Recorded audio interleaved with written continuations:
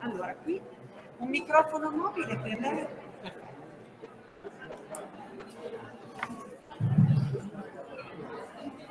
Buonasera a tutti, benvenuti a questa serata sono la dirigente del liceo, ho riconosciuto tantissimi volti di genitori, studenti, insegnanti e anche qualche diciamo, volto invece più anonimo, quindi benvenuti anche ai cittadini di Forlì che hanno colto questa occasione della serata conclusiva del ventesimo Festival della Scienza intitolato a Marilena Zoccoli è stato per noi un anno particolare, abbiamo voluto dedicare non la consueta settimana ma un mese a questo festival, nato eh, diciamo 22 anni fa ma di fatto ricorre la ventesima edizione quest'anno proprio perché il Covid aveva bloccato ogni attività in presenza.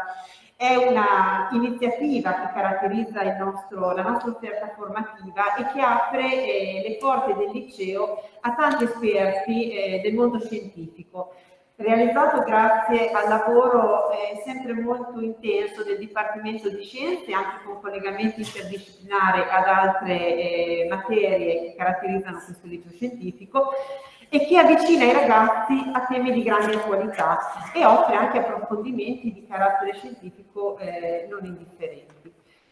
Questa serata è stata realizzata grazie anche alla collaborazione dell'Associazione Nuova Civiltà delle Macchine e a Roberto Camporesi che ringrazio eh, per l'ennesima volta perché eh, ci consente, insomma, diciamo che è un nostro esterno interno, di fatto è un nostro collaboratore eh, ed effettivamente ci consente di a volte intercettare anche personalità che eh, sarebbe per noi difficile eh, avere a Forlì.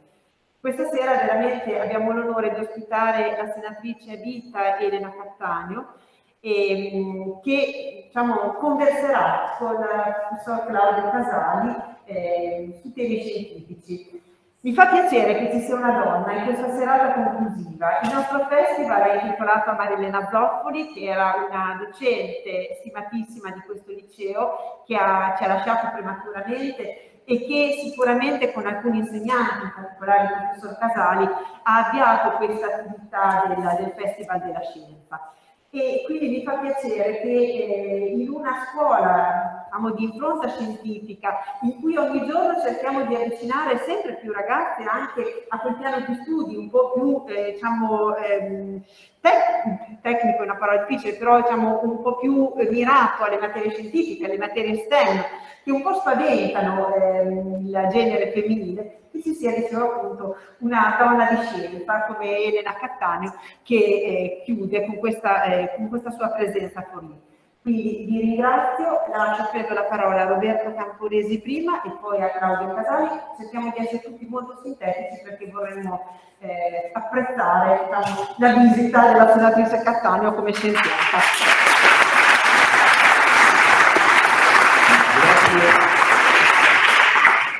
Io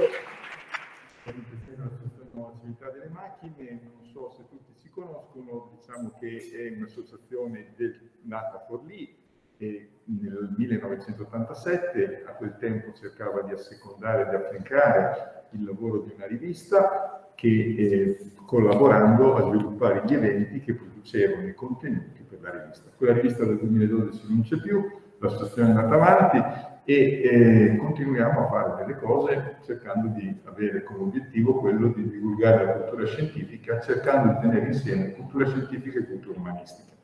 E da questo punto di vista mi dà soddisfazione che eh, la vostra dirigente del liceo ha usato la parola collaborazione, una bellissima parola, in tempi di lamenti l'unico modo per potercela cavare è cercare di essere capaci di collaborare meglio. E quindi mi fa piacere dire che abbiamo cercato di dare qualche aiuto e quindi rievoco velocissimamente, eh, abbiamo collaborato per organizzare l'incontro su Pasteur, su come nasce la vaccinazione, poi con il professor Corbellini, poi quello sulle neuroscienze con il professor Boncinelli e questa sera siamo qui per, eh, con la senatrice Anna Cattani, che nella vita prima di fare la senatrice è una ricercatrice, una professoressa universitaria, e l'incontro di questa sera diciamo che avverterà nel cercare di raccontare cos'è che lei ha scritto nel, in questo ultimo suo libro, Armati di Scienza. Io eh, devo dire che nel ringraziare la senatrice personalmente, nelle relazioni che abbiamo avuto per cercare di contattare avevamo l'obiettivo di portarla qui il 10 di dicembre scorso, quando abbiamo fatto un evento per ricordare Pietro Greco. Qual è il motivo? Pietro Greco è stato un grande comunicatore della scienza che è venuto a mancare, che ha avuto la cittadinanza onoraria forlivese e quindi un personaggio che ha molto collaborato con il nostro territorio e ha fatto sì che la discussione, la vivacità culturale eh, fosse, avesse degli stimoli. In questo libro la senatrice dedica il libro a due persone, una è Rossella Panarese e l'altra è Pietro Greco, che sono venuti a mancare a poca distanza l'una dall'altra e che sono due importanti figure della comunicazione della scienza in Italia.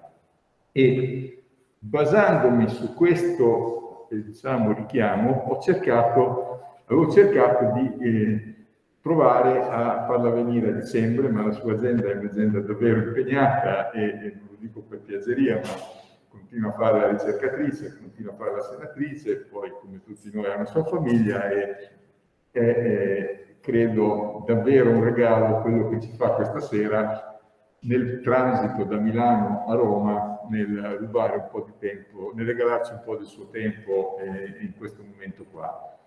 Io eh, voglio dire solo una cosa, senza rubare spazio, ma perché eh, non fu possibile a dicembre, ma io le chiesi, ma se si può in futuro, e lei eh, generosamente poi ci propose una data e io cercai di agganciarmi prendendola e poi è venuto fuori in questo modo l'incastro col festival e mi sembra una serata bella eh, di, eh, che possa concludere questo momento di impegno. Ecco, il filo conduttore è comunque Pietro Greco. E quindi vorrei dedicare una piccola riflessione a lui perché penso che ci porti direttamente poi dentro il tema della presentazione del libro. E eh, cosa pensava Pietro Greco? Pensava in termini interdisciplinari, guardando scienza, tecnica, arte, filosofia e cultura come un tutt'uno. E nel suo discorso, quando gli fu conferita la cittadinanza onoraria a Forlì, dopo aver ribadito con le parole di Primo Levi che la divaricazione delle due culture è una schisi innaturale, ribadì l'importanza dell'esperienza forlivese come stimolo alla conquista di uno spirito critico.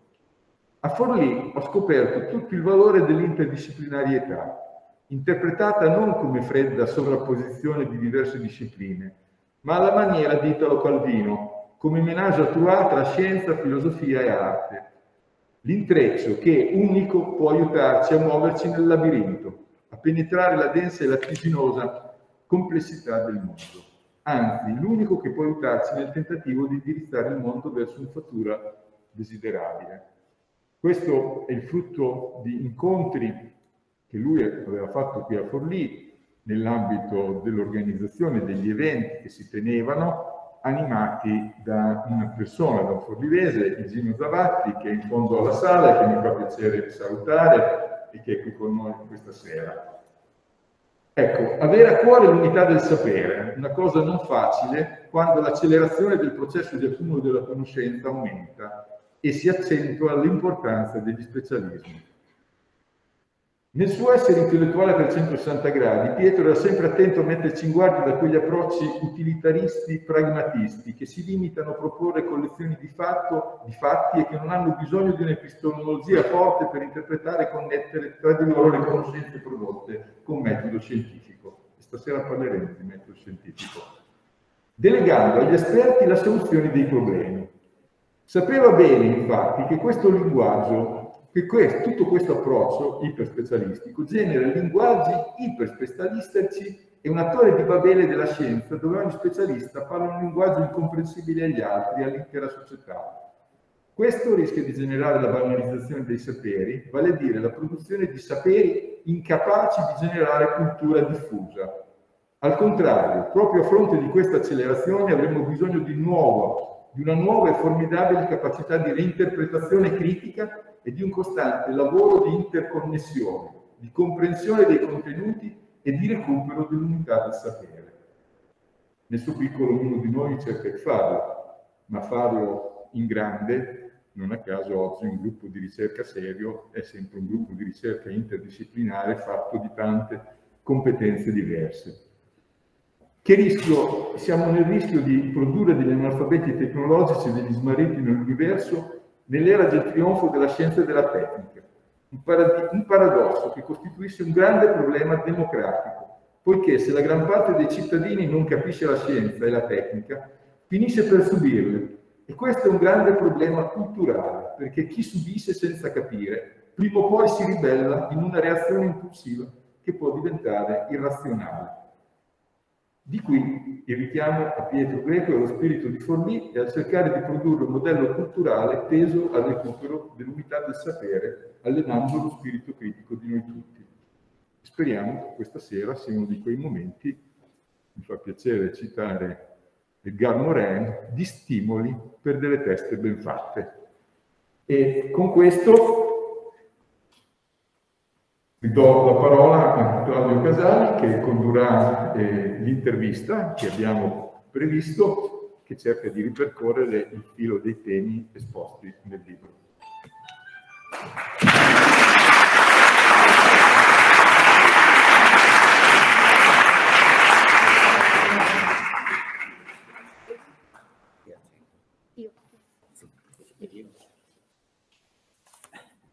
Bene, eh, grazie a tutti di essere qui, soprattutto sono molto contento di vedere tanti giovani, tanti eh, studenti. Io sono molto onorato di essere qui in questa, in questa veste, di aver conosciuto la senatrice Catano che mi ha chiesto di dare del tu, quindi è un onore. Eh, brevemente, gli adulti penso che conoscano tutti la senatrice e non ci sarebbe bisogno di presentazione, però per qualche studente forse è il caso di dire chi è la senatrice Elena Cattaneo. Io mi permetto di leggere una sintetica biografia eh, dell'autrice, che è professore ordinario di farmacologia all'Università degli Studi di Milano.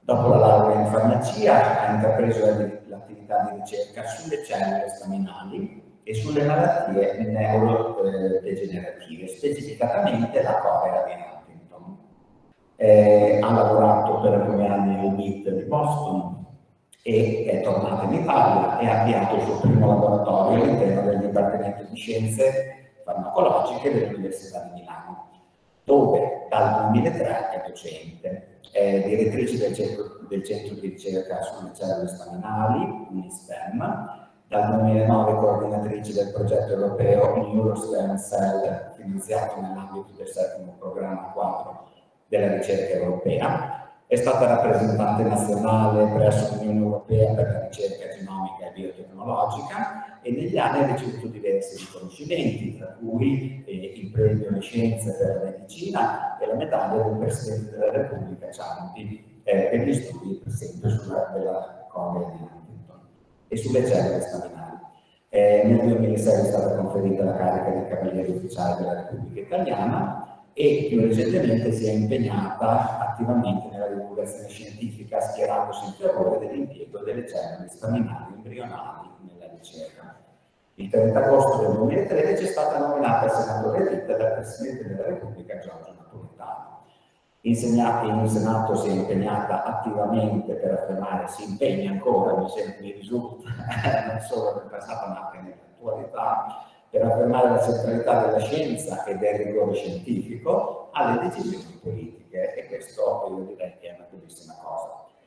Ha pubblicato nel 2016 il libro Ogni giorno tra scienza e politica e eh, nel 2011 il libro appunto che presentiamo questa sera, Armati eh, di scienza. Eh, due parole proprio su questo libro per presentarlo, eh, è un libro che si legge in un fiato, è un libro di 150 pagine se non sbaglio, si trova anche in ebook, quindi chi vuole può prenderlo anche in questo formato. È, formato, è, è composto da sette capitoli agili, con uno dei quali ha un tema ben preciso, Ecco, eh, chiaramente c'è un filo conduttore che unisce tutti questi capitoli, ma può essere letto anche a salti, eh, perché ogni capitolo è monotematico, quindi si può, anche se non si ha molto tempo, diciamo, eh, leggere un argomento, poi dopo gli altri leggerli con più calma eh, successivamente. Ma la cosa più bella, secondo me, eh, di questo libro è quello che dice la senatrice alla fine della introduzione, proprio le ultime righe perché eh, la senatrice spera di, eh, con questo libro di eh, stimolare, diciamo così, delle, eh, del, degli interessi, degli approfondimenti e dice chi volesse condividerli può farlo scrivendo e dare il suo indirizzo di posta elettronica. Ma la cosa più sorprendente è che dice subito dopo, li leggerò tutti e risponderò a ciascuno. E questo mi sembra una cosa bellissima.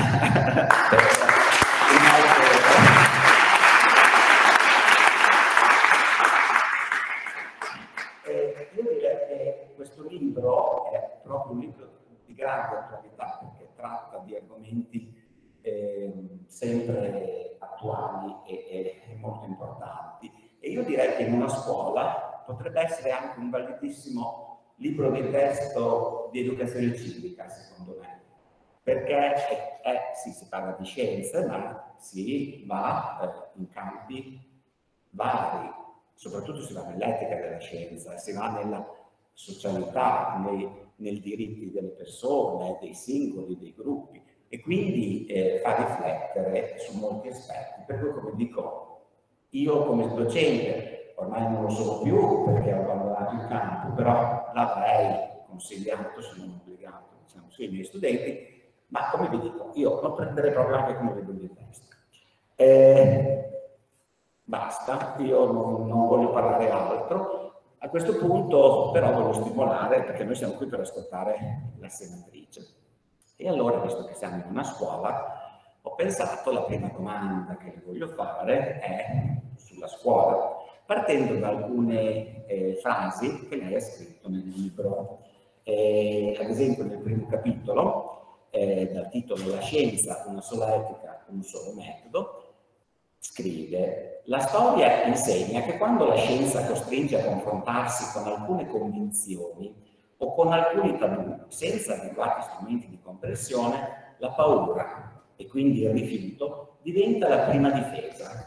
Scatta un riflesso istintivo di tipo evolutivo che interpreta ogni novità come potenziale pericolo.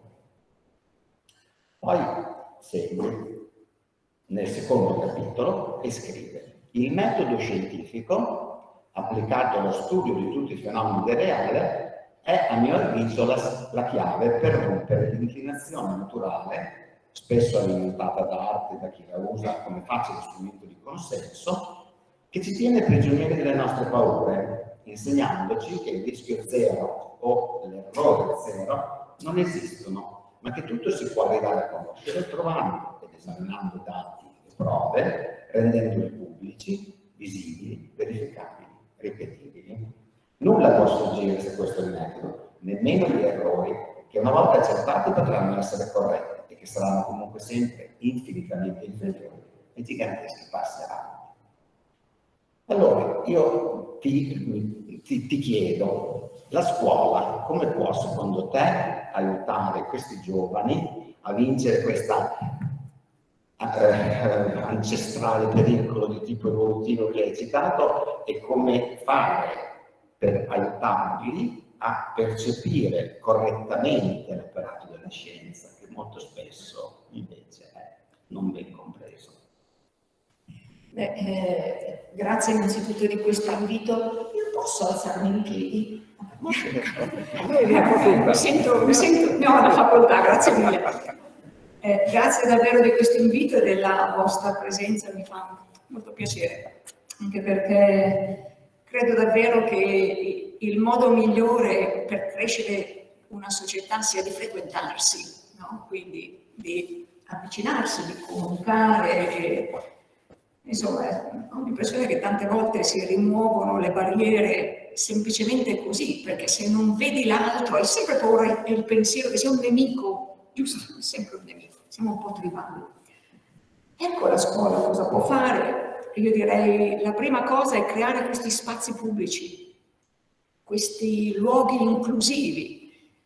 E la scuola è, è soprattutto questa cosa qui, ovunque tu vada avrai gli strumenti o ti verranno dati gli strumenti affinché tu possa vantare il diritto e il dovere di essere incluso e magari aiutare anche quell'altro cammin facendo, quando arriverai ad essere sempre un po' più armato di quegli strumenti, aiutare quegli altri eh, no, che resteranno un pochettino indietro. La scuola è il nostro spazio sociale e guardate che non si scherza con questi spazi. Io credo davvero che nella scuola si formino le nazioni e dove vuoi formarle? si formano le persone, poi si formeranno ciascuna no? in modo diverso, ma ciascuna verranno dati gli strumenti affinché ci si possa muovere verso il cammino del domani e del mondo che frequentiamo, mi viene da dire con fiducia, non quindi come persone eh, eh, no, attrezzate di, o, o eh, costruite intorno alle paure, ai calendari lunari, ai riti sciamanici, no, ma ti vengono dati strumenti per sollecitare le tue capacità cognitive, che ragazzi ce le abbiamo, ma ciascuno di noi, veramente, dal più giovane al meno giovane qua dentro, ciascuno di noi è una persona che ha tutte le possibilità di capire, di ragionare e di decidere secondo un metodo. Quindi mi viene da dire la scuola, ecco, lo rivendico, è questo spazio pubblico e nello spazio pubblico vengono dati gli strumenti uguali a tutti, devono essere dati a tutti. C'è un gap formativo eh, in alcuni luoghi, per alcune persone, va colmato, ma noi che abbiamo il privilegio di frequentare queste scuole, anch'io ho fatto il liceo scientifico, anch'io in una scuola pubblica, coloro che hanno la possibilità di frequentare questi spazi, insomma, sappiano che ciò che studiano, magari a caro prezzo, magari con la professoressa o il professore che ci striglia, che ci sprona no, a studiare un po' di più, no, in realtà lo fa per per darci, per darci quegli strumenti che è vero servono a capire il mondo, è vero servono a darci sbocchi professionali, ma soprattutto servono a darci la consapevolezza di cosa vuol dire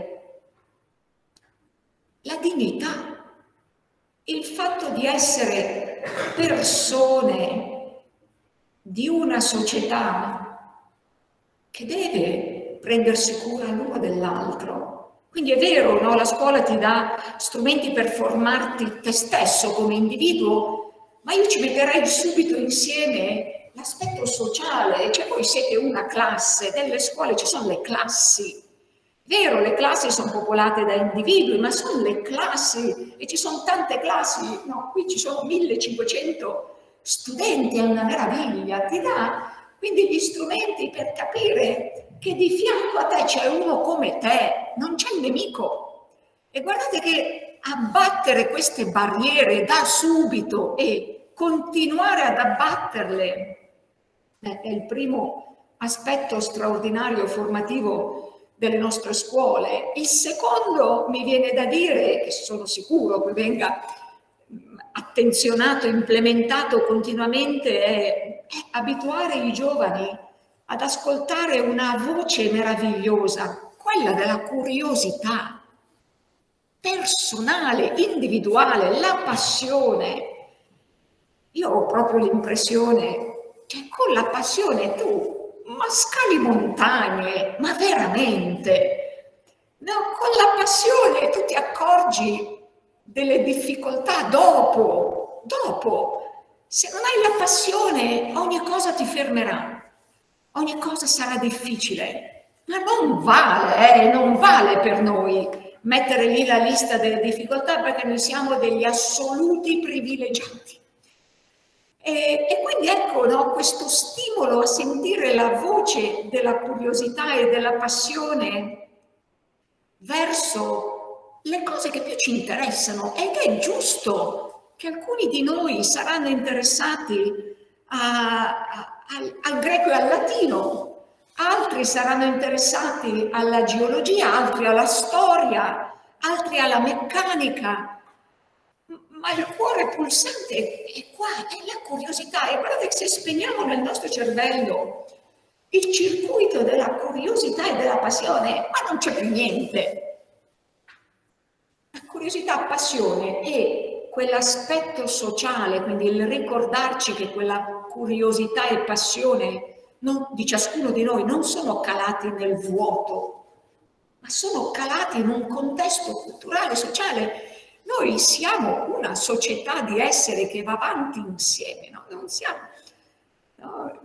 perché appunto in realtà però quell'istinto tribale ce lo portiamo dentro, ecco perché quindi la scuola ti aiuta anche a capire che noi in realtà siamo parti dello stesso mondo e dello, e dello stesso cammino. E poi forse il terzo elemento che la scuola potrà, potrà andare avanti, eh, per tanti, eh? dopo, dopo mi taccio, il terzo elemento dove forse si potrebbe calcare un po' di più.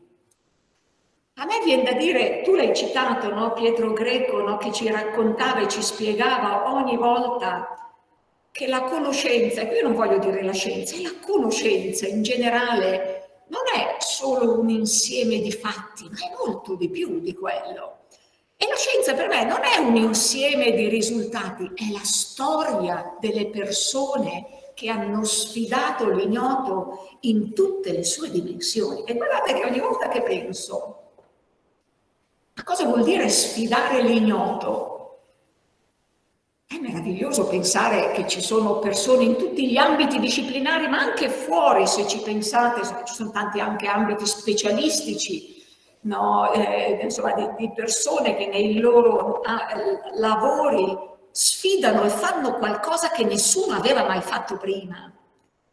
E così nella scienza sfidare l'ignoto significa andare a studiare una cosa che nessuno aveva mai studiato prima, che nessuno conosce, andare a sollevare una domanda che nessuno aveva mai sollevato prima, andare a fare esperimenti per rispondere a quella domanda che nessuno aveva mai immaginato prima.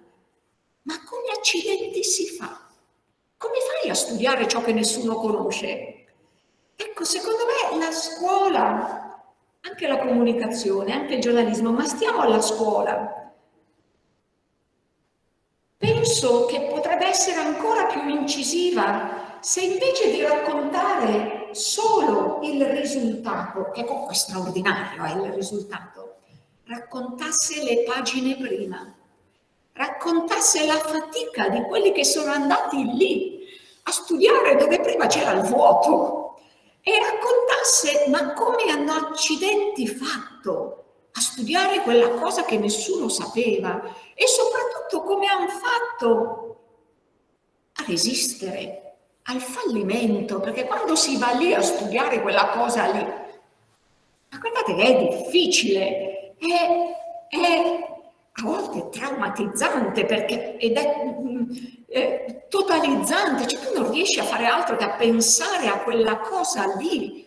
E, e tante volte anch'io cerco i, no, quei miei colleghi scienziati che sfidano il pezzo più distante, no? la frontiera che si pongono alla frontiera più distante della conoscenza, perché guardate che studiare qualcosa vicino a noi è facile, relativamente facile, no? un pezzo di ignoto, un po' più frequentato, un po' più vicino a noi, ma quelli che vanno là, là dove c'è buio, io mi immagino sempre questa frontiera, la racconto così, no? la frontiera dell'ignoto, cosa vuol dire? Io mi immagino questi studiosi che sono lì alla frontiera e stanno su quel bordo, no? con una gamba appoggiata a un pezzo di terreno conosciuto. Mm? È l'ultimo metro però eh, del conosciuto. e stanno con quella gamba lì appoggiata sull'ultimo metro di conoscenza, ma l'altra gamba è nel vuoto. Si può cadere, eh? L'altra gamba è nel vuoto perché sta cercando di aggiungere un altro metro. E perché c'hai una gamba sul metro già conosciuto? Ma certo, perché vuoi capire se quel metro è solido, vuoi capire se quel metro è vero, vuoi replicare i dati dell'ultimo metro per aggiungere un altro metro. Ma guardate che lì sei proprio, sei proprio sul baratro. E allora ecco che la scuola potrebbe insegnare cosa vuol dire il coraggio di studiare, il coraggio di sfidare. Poi le sfide noi le possiamo portare nei nostri diversi campi.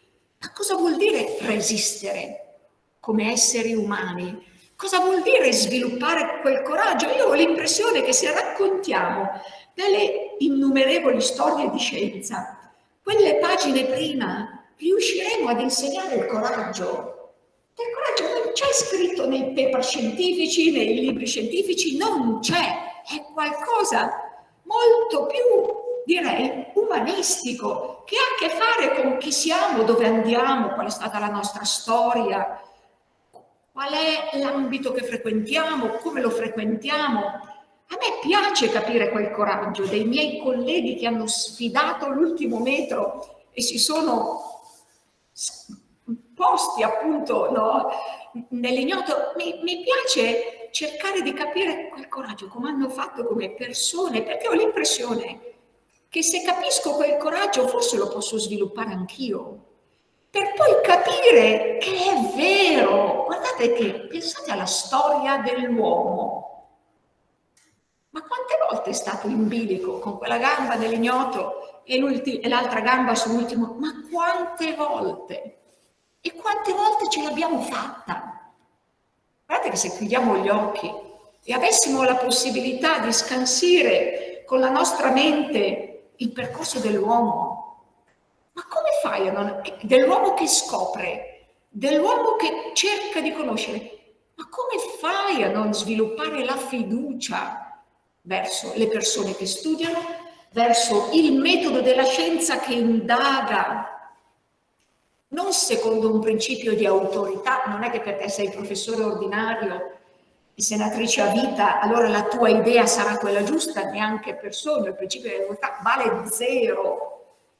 Valgono le idee, sei lì all'ultimo metro, ecco ti viene quest'idea, un'idea che nessuno ha mai avuto prima, la discuti con gli altri, è sempre un lavoro di squadra, bellissima la squadra, eh? si impara a lavorare in squadra e poi appunto ti innamori della tua idea, ecco il metodo, no? cominci a entrare in movimento. C'è un'idea, una domanda, la domanda è importantissima, eh? e nella scienza valgono solo le domande che possono essere eh, sperimentate, giusto? Per rispondere alle quali puoi mettere in campo una serie di esperimenti che ti dirà sì o no alla tua ipotesi. La domanda qual è il sesso degli angeli non, è, non ha nulla a che fare con la scienza, giusto? La domanda se i raggi cosmici eh, entrando attraverso la punta del corno di una vacca possono eh, imprimere le forze eterico-astrali nel letame, negli intestini di quella vacca, così che il suo letame poi potrà essere più fertile no? quando distribuito sui campi non ha niente a che vedere con la scienza. Ahimè, cito questo perché questa storia stava ed è mezza entrata in una legge della Repubblica Italiana. Ne parliamo se volete dopo. La scienza si occupa di immaginare le domande più difficili per le quali sia possibile sviluppare degli esperimenti e poi tu che hai avuto quella domanda e quell'ipotesi e quell'idea sarai chiamato al bancone di laboratorio per mettere in campo tutti gli esperimenti che riuscirai a immaginare uno dopo l'altro per capire quanto vale, quanto regge la tua domanda e guardate che quegli esperimenti tante volte per fare gli esperimenti devi anche sviluppare gli strumenti per fare gli esperimenti che guardate che tante volte quegli esperimenti non durano un giorno, non durano mai un giorno, neanche una settimana, neanche un mese, durano anni. E la cosa straordinaria di questo metodo, sapete qual è? Tu devi essere terzo, giusto? Terzo e competente. Sì, ti puoi innamorare della tua idea, tutti lo facciamo. Tutti siamo convinti di aver ragione, anche perché se no... Però ecco che nella scienza, questa è la cosa forte del metodo, tu sei obbligato a portare la tua idea al bancone di laboratorio e non importa quanto tu abbia amato la tua idea, tu dovrai accettare i risultati che verranno fuori da quel bancone di laboratorio. E non avete idea di quante volte nella mia vita ho fallito, chissà quante altre volte fallirà. Il fallimento è buono, eh, perché vuol dire che eri con quella gamba nel vuoto. Altrimenti, appunto, se non fallisci mai è perché ti collochi con le tue gambe su un pezzo insomma, ben solido. A me piace la scienza insomma, eh, di frontiera e penso che quella sia la scienza da perseguire. Non avete idea di quante volte, no, io ho sempre questa immagine, il semaforo del bancone di laboratorio si è illuminato di rosso. Succede come? Eh? Magari per anni. E quando succede ti senti male, soffri. Se sei responsabile di un gruppo di ricerca, ti senti anche, tra virgolette, colpevole di aver portato un gruppo verso una strada sbagliata. Però non lo sapevi a priori che era sbagliata, il metodo non ti garantisce né che la tua idea, per quanto tu l'abbia amata, ci porterà nella direzione giusta, né, né che, che sia la direzione sbagliata, c'è un metodo, è questa cosa qui. Quando parti devi attrezzarti, armarti bene, poi cammini e non puoi garantire a nessuno il traguardo. Saresti falso a garantire a un malato studierò questa cosa e ti porterò alla cura. Sarebbe sbagliato, sarebbe un inganno. Questo metodo può garantire però una cosa che se ci pensiamo io credo che sia fenomenale ed è l'assiduità. È l'assiduità di continuare a studiare, l'assiduità di continuare a ricercare se quel pezzo di frontiera non è quello giusto, ok, ingoieremo il rospo, il semaforo si è illuminato di rosso, ci sposteremo un po' più in là, ci sentiremo nel cestino, vi assicuro, non so quanti giorni, quanto tempo, eccetera, ma il giorno dopo saremo pronti a riaprire le porte dei laboratori, dei nostri laboratori. E tutti noi rientreremo di nuovo con quella passione e con quella curiosità. Oh, che tante volte ci fa sentire come se oh, quello fosse il giorno in cui di nuovo partiremo per la Luna, senza magari nemmeno sapere dove la Luna è, No, e se c'è una luna che è il traguardo. Quindi però, però ecco, succede a volte che tu sei in laboratorio e dopo anni di esperimenti, di sofferenze e di fatica, il semaforo si accende di verde, si illumina di verde. E beh, in quel momento tu sei il primo uomo o la prima donna al mondo a vedere quel risultato. Si cammina un metro da terra per un po', poi ci si è ancora di nuovo a terra perché c'è il prossimo passo da fare e ovviamente se lavori nell'ambito della biomedicina, insomma, ti rendi conto che quel risultato è un pezzo di strada fatto verso la direzione di una cura, verso la speranza per persone che quella speranza non possono più darsela da soli. Come fai a non aver fiducia? Quindi scusate, l'ho raccontata, l'ho fatta un po' lunga, ma vedete io non vi ho ancora parlato di un risultato, probabilmente non so, non lo faremo, vedremo. Ma tutta questa parte prima, le persone che studiano, le persone che si impegnano, le persone che mettono in campo no, quella assiduità e che lo fanno no, senza aver garanzia che ci sarà qualcosa. Ma guardate che è pazzesca. E poi quando ci sarà quel risultato, ecco che diventerà, come hai detto, pubblico, di tutti, visibile, verificabile. Però a me piacciono queste pagine prima dei risultati, mi piacciono veramente. E la chiuderei così, queste pagine prima.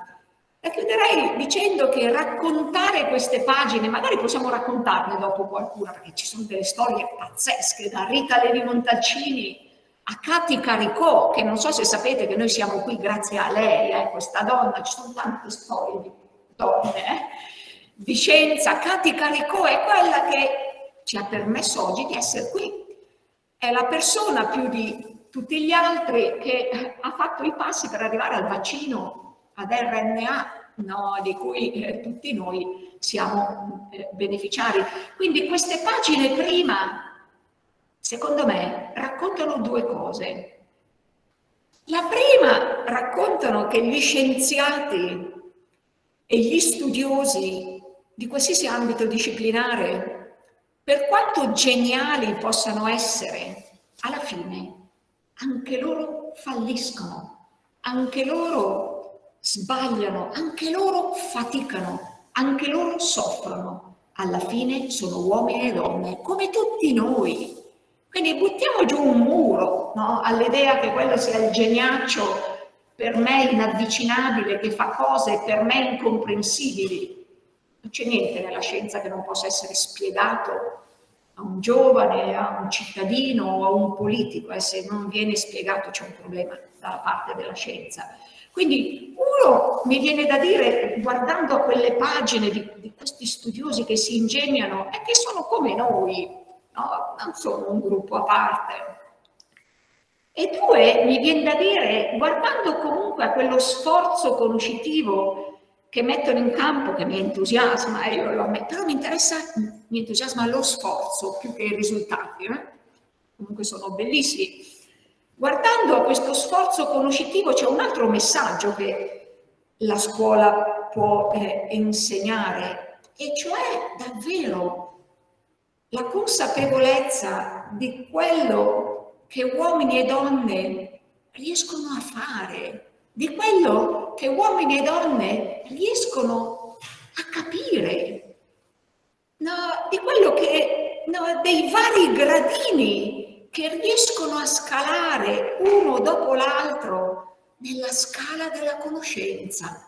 Nessuno ci può fermare. Quindi se impariamo il metodo, ma noi domani saremo ancora un pezzo più in là, avremo un pezzo di mondo più conosciuto. Se ci sarà un pezzo di mondo più conosciuto, avremo meno paure, avremo meno nemici, avremo più democrazia, perché conoscere significa oggettivare, no? dire questa cosa la conosco così e quindi almeno su quella cosa lì non potremo più confliggere. Ecco perché più, no, più scienza, tanti studiosi no, ci spiegano più democrazia, perché la scienza ti permette proprio di oggettivare gli argomenti su cui molto spesso confliggiamo. Quindi in sintesi, mi faccio veramente, questi, questi punti, no, di cui forse l'ultimo, questo del raccontare le pagine prima, come va, chi sono questi scienziati, che faccia hanno,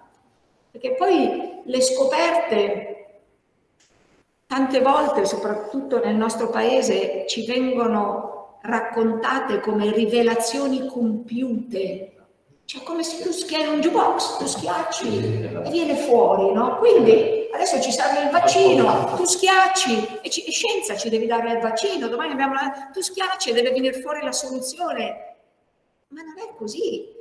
E se c'è questa percezione di una rivelazione compiuta, ma c'è anche forse un'errata immagine di qualcosa di oracolare, di magico, no? Invece no, è fatica, è fallimento, è disperazione, poi però ci si aiuta perché lavoriamo in gruppo. Quindi insomma queste pagine sono stupende e lì si scoprono le persone, si scoprono le storie, guardate, vostre, eh? di tanti di voi, io sono sicura che ci sono qui dentro con una scuola così preparata, con questo spazio così meraviglioso che sa creare. Io sono sicura che qui dentro ciascuno di voi giovani, anche meno giovani, ma mi riferisco soprattutto ai giovani, ha dentro quella fiamma e liberatela, date ossigeno, seguite passione, entusiasmo, curiosità. Non dovete avere paura del fatto che siete uno solo. No! Rita Levi Montaciniera una sola. Cati Caricò era una che poi via via ha incluso, aggregato. No, ci sono tante altre caratteristiche no, che poi portano le persone no, a, a, a, creare questi movimenti di scienza, ma insomma sono sicura che con la formazione che avete qui avrete tante bellissime pagine da scrivere anche voi.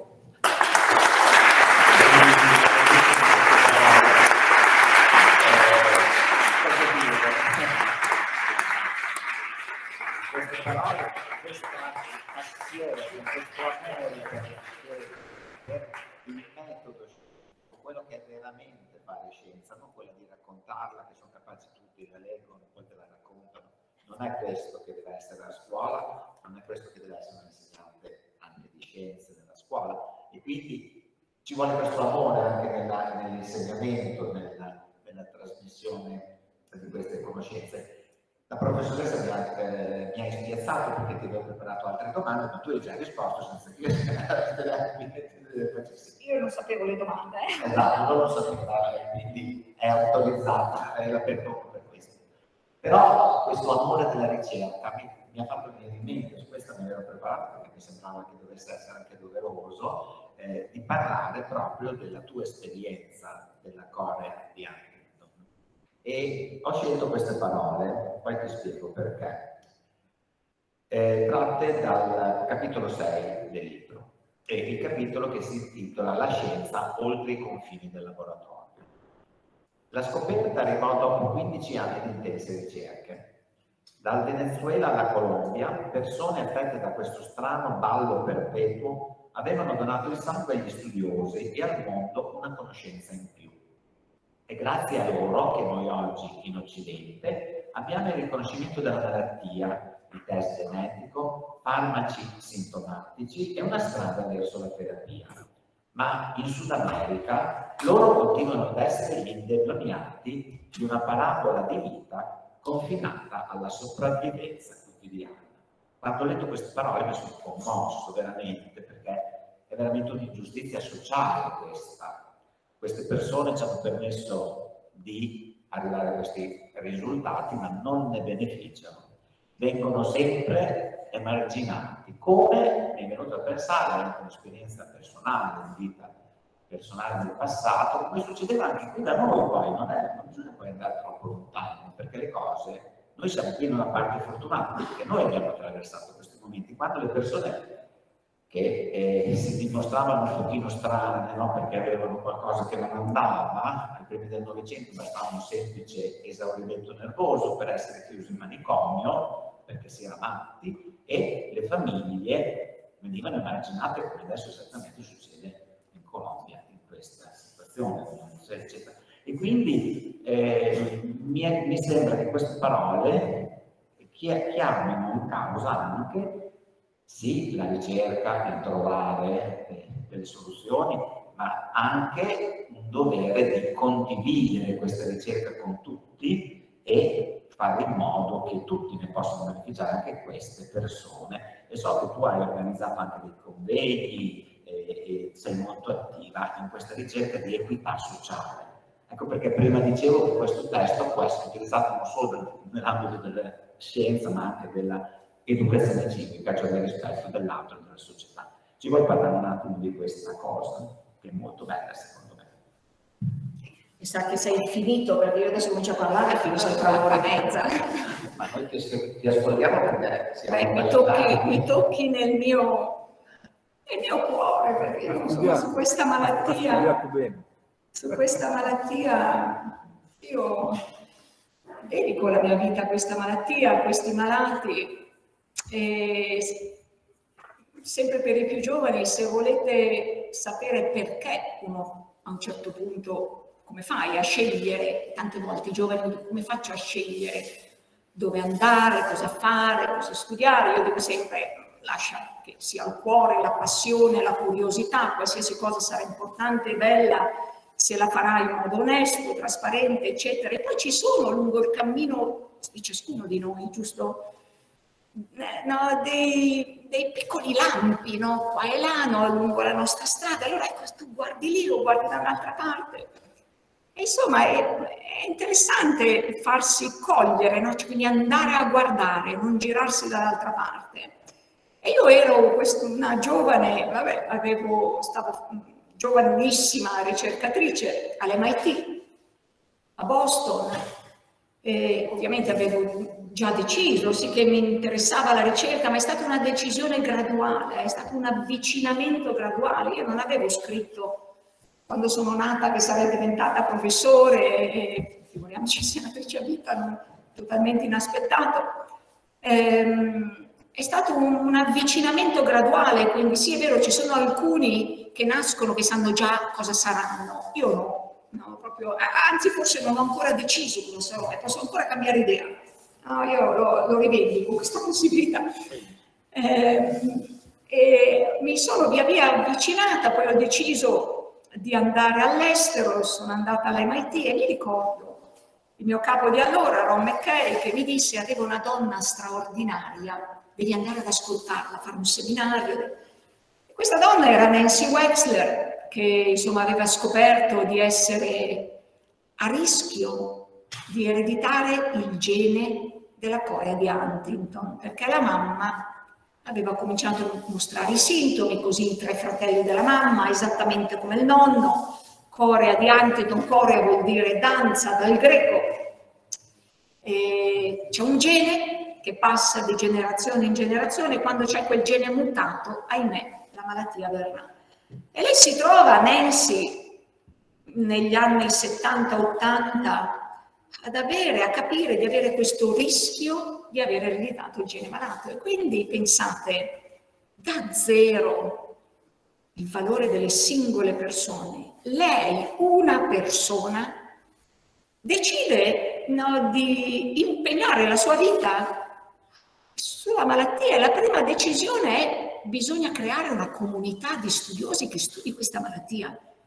Guardate prima di lei, per dire sì, le singole persone fanno cose che sono sempre dei piccoli o grandi cambiamenti. No? Noi vogliamo anche noi essere parte di queste persone che fanno delle cose importanti per gli altri. Io mi ricordo, ero lì all'MIT, in quest'aula, arrivò lei, con questi capelli biondi, mi ricordo la luce dei suoi capelli, era biondissima, chiara, lunghi, dritti, bellissima donna, sui 50 anni, genetista, quindi lei aveva già cominciato a studiare. Non mi ricordo in quest'aula dell'MIT, lei cominciò a parlare no? quindi di essere a rischio della malattia, di aver avviato anni prima, di essere andata in giro per il mondo. Immaginatela questa donna che va in giro per il mondo a cercare di convincere i migliori scienziati del mondo, i migliori gentisti di allora, a unirsi alla sua battaglia per trovare il gene responsabile della malattia di Huntington.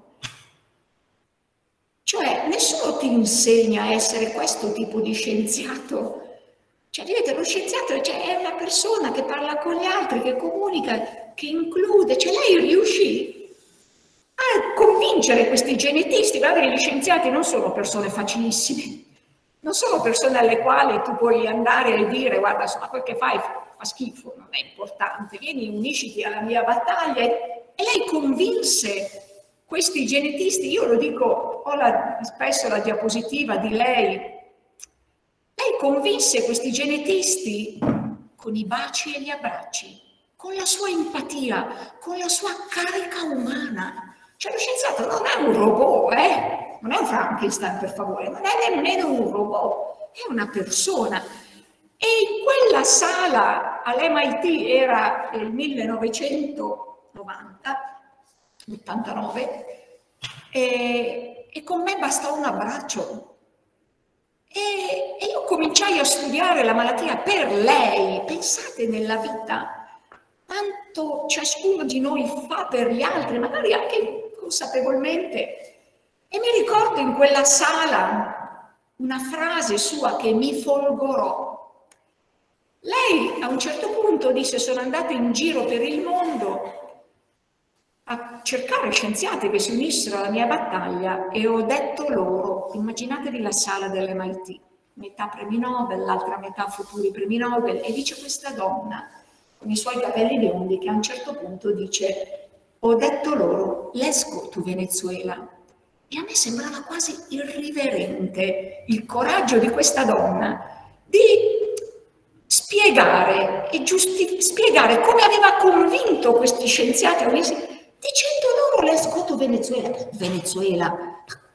Ma, ma perché Venezuela? E come fai a dire a quell'audience? Non è che li ho convinti con la bellezza di questo pensiero scientifico, di questo esperimento scientifico. Li ho convinti con l'umanità e la mia convinzione. E let's go to Venezuela perché lei aveva letto questo libro di un medico che viveva in quei villaggi del, vicino al lago Maracaibo in Venezuela e quel libro descriveva no, questo medico, scrive questo medico, sì, le prime volte che sono arrivata in questo villaggio sono queste parole. E ho visto queste persone che barcollavano per strada e mi annoiavano, proprio c'è scritto mi annoiavano, io era un medico, eh? mi annoiavano queste persone, questi giovani che barcollavano e ho detto al mio amico camminava con me, Ah, che noia, no, questi giovani, poi cadeva, si rialzava. Ah, che noia, no, vedere, che fastidio vedere queste persone ubriache. E questo compagno di camminata gli dice, no, caro dottore, non sono ubriache, sono dei San Vitero. Sono delle persone che hanno il ballo di San Vito. San Vito è il patrono, il santo dei ballerini, dei danzatori, e la danza, no, ecco. Quindi leggendo quel libro Nancy si accorge che ci sono dei villaggi in quella zona del mondo pieni di malati di antito e possiamo capire perché.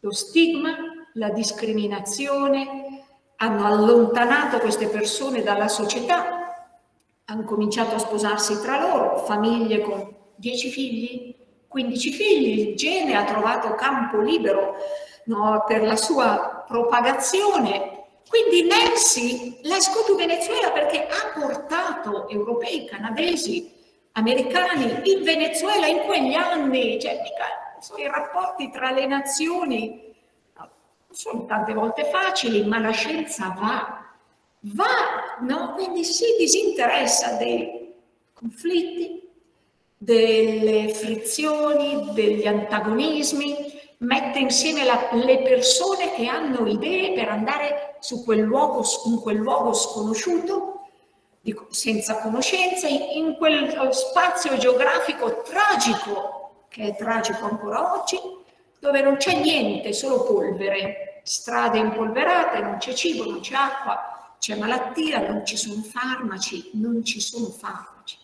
non c'è neanche un'aspirina, non c'è un antidepressivo, e Nancy racconta a quest'audience all'MIT, insomma, di questi viaggi che cominciano ad andare lì, queste persone, questi studiosi, pensate a questi abitanti no, che per la prima volta vedono un canadese o un americano, pensate a conquistare la loro fiducia. E fanno e cominciano quindi lì no, a, sì, a conquistare la fiducia, ricostruiscono l'albero genealogico loro, di tutta quella discendenza di quella parte del Venezuela, anche sul confine con la Colombia, e riescono a, a costruire un albero genealogico, quindi no, di eh, rapporti familiari, no, le famiglie, eccetera, che include 18.000, includeva 18.000 individui e sono persino arrivati all'ancestore. Pensate alla scienza che fa persino andare indietro L'ancestore è stata questa donna, Maria Concepción Soto Soto, che visse lì nel 1800, aveva la mutazione e ha creato lì quella genealogia che, si è, che è esplosa e si è espansa perché lì si sono sposati tra loro e perché facevano ovviamente tanti figli. Questo però Nancy si accorse, significava anche che era, quella era la genealogia e l'ambito giusto in cui andare a cercare il gene di una malattia rara. per trovare soprattutto a quei tempi il gene di una malattia rara, tu devi avere una grande genealogia. Arrivarono là e cominciarono a fare esperimenti e uno si chiede, sì ok, va bene, hai lì tanti malati e sai che il gene è dentro di loro, ma come lo trovi? Come lo trovi? Un gene che è un pezzettino microscopico di questo nostro DNA che è lungo due metri, giusto? Lo sapete che se sfilassimo il DNA dalle nostre cellule, ogni cellula contiene due metri, un filo di due metri di DNA, che uno dice come fa a stare dentro questo filo, dentro ciascuna di queste nostre cellule? Guardate che chi di voi scoprirà come? Questa è una bellissima domanda, eh? È straordinario, pensate a quante implicazioni, a quante Insomma, come fai a trovare quel gene se invece dei due miliardi pensiamo ai, alle lettere che formano il DNA, quindi i nucleotidi sono, invece dei due metri pensiamo alle lettere, sono tre miliardi, giusto? Ok, come trovi il gene che magari è 50.000 lettere in 3 miliardi di nucleotidi? E soprattutto dove trovi il coraggio per andare lì e cominciare a pensare e cominciare a fare. E hanno avuto un'idea grandiosa, straordinaria, perché tu devi immaginare, sai che dentro lì, come lo scopri? Non riesco a spiegarvelo qui, ma ho la tentazione di farlo, però non lo faccio. Ci sono riusciti a trovare quel gene, ci ha messo 13 anni.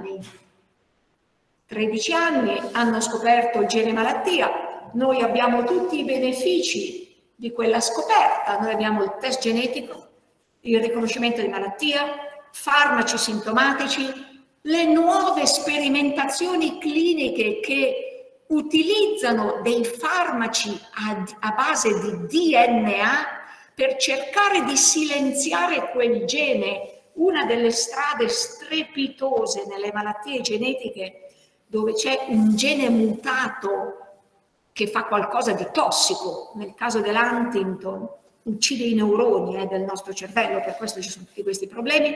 Una delle strade stratosferiche sviluppate è, è, quello, è una strada eh, che porta a creare in laboratorio dei pezzettini di DNA omologhi uguali, più o meno uguali al gene che vuoi incriminato e che vuoi silenziare. Questi noi li chiamiamo in gergo scotch molecolari, agenti silenziatori, sono dei pezzettini di DNA che riconoscono solo il gene Huntington, solo il gene malato, si appiccicano, come dei, sono molecolari perché sono a base di... si appiccicano solo lì, non nelle altre parti del genoma, se no sarebbe una tragedia, si appiccicano e cosa fanno?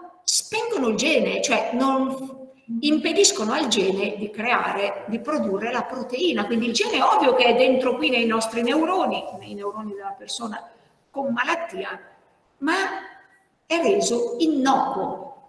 Quindi noi abbiamo già in sperimentazione clinica in questa parte del mondo le prime strategie a base di questi agenti silenziatori, loro lì loro lì non hanno veramente eh, niente. È ovvio che questo non è la prima volta, ci deve però interrogare, non basta dire non è la prima volta, succede sempre così, succederà ancora per girare le spalle e non fare qualcosa, quindi insomma qualcosa stiamo cercando di fare. Uno degli esperimenti, credo il più bello della mia vita, è stato quello di organizzare una migrazione di queste persone dal Venezuela, dal Colombia, dal Perù, dai loro luoghi fino a Roma, eh, al, dal Santo Padre, in un'udienza dedicata a loro, fu maggio 2017, e queste persone che non avevano, che non erano mai uscite dai loro villaggi, che non avevano mai visto un ascensore prima in vita loro, e cito l'ascensore perché quando arrivarono a Fiumicino li perdemmo negli ascensori perché non sapevano cosa fare. Questo per darvi l'idea, ma fu straordinaria quella settimana a Roma con loro. Io avevo in carico 150 di loro, arrivarono circa 2000, organizzammo tutto, non avevano passaporti, non avevano niente, non avevano neanche una borsa di plastica per mettere dentro tre stracci, ma veramente niente. Organizzammo tutto per tutte queste persone, ecco, e vederli lì in prima fila, no? queste persone dall'indemoniati, no? additati perché questi movimenti già nella storia, ma ancora oggi, li porta sempre ai margini, no? Del, sempre portati ai margini della società, vederli in prima fila davanti al Santo Padre, mh, mm, beh, fu un momento straordinario, fu un momento anche di grande commozione, no? perché insomma, avevamo capito, avevamo l'idea che forse molti di loro, con quei loro movimenti, in quell'aula enorme, non li avremmo più rivisti. No? Quindi la paura di perderli, la paura no? che questi figli che avevamo teso si potessero interrompere, frammentare. Invece guardate, quel momento in quell'aula fu davvero la celebrazione dell'umanità, della forza, della conoscenza e della bellezza di mm, poterci aiutare l'uno con l'altro. Poi è ovvio che loro sono tornati nelle loro case, nei loro villaggi impolverati, nella loro assenza di tutto, ma non della malattia.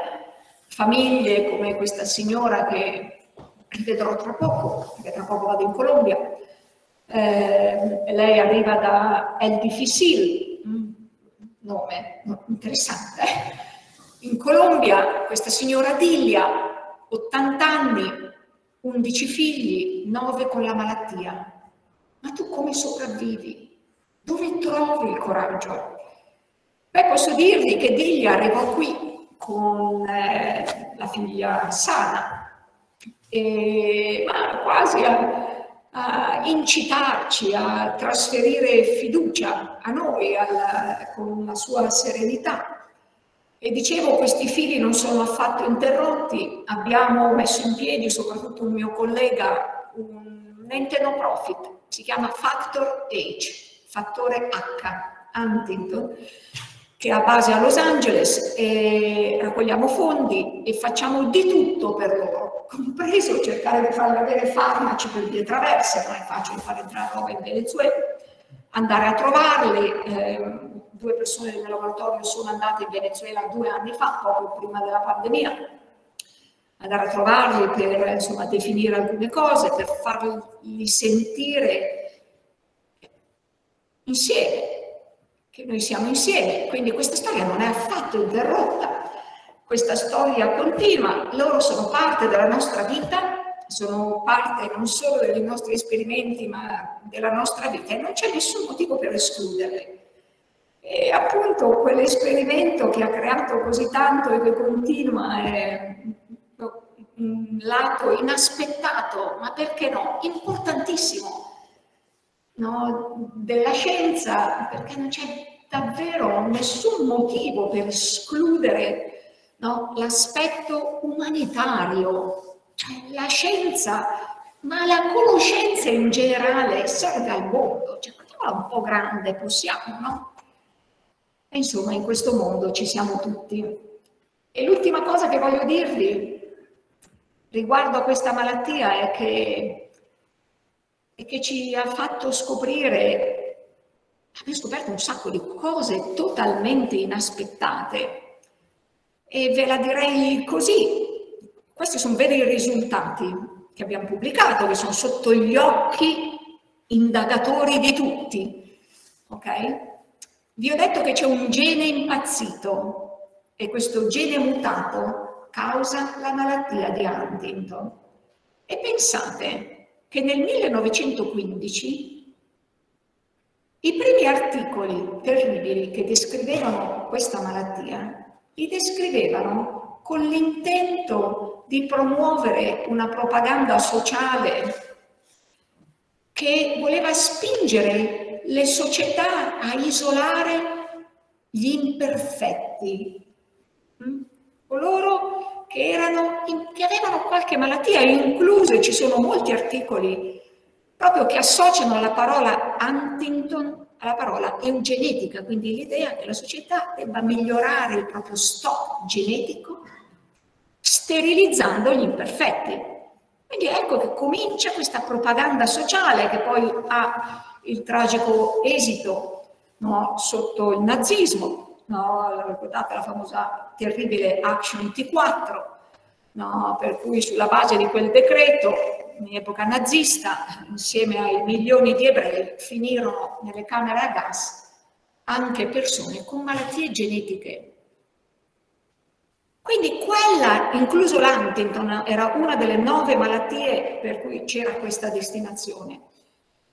Quindi vedete, e, e perché c'è questa cosa? Perché c'era l'eugenetica, no? quindi l'idea che questi fossero imperfetti, queste persone fossero imperfette e dovessero essere eliminate. Guardate, questo succede quando non c'è conoscenza.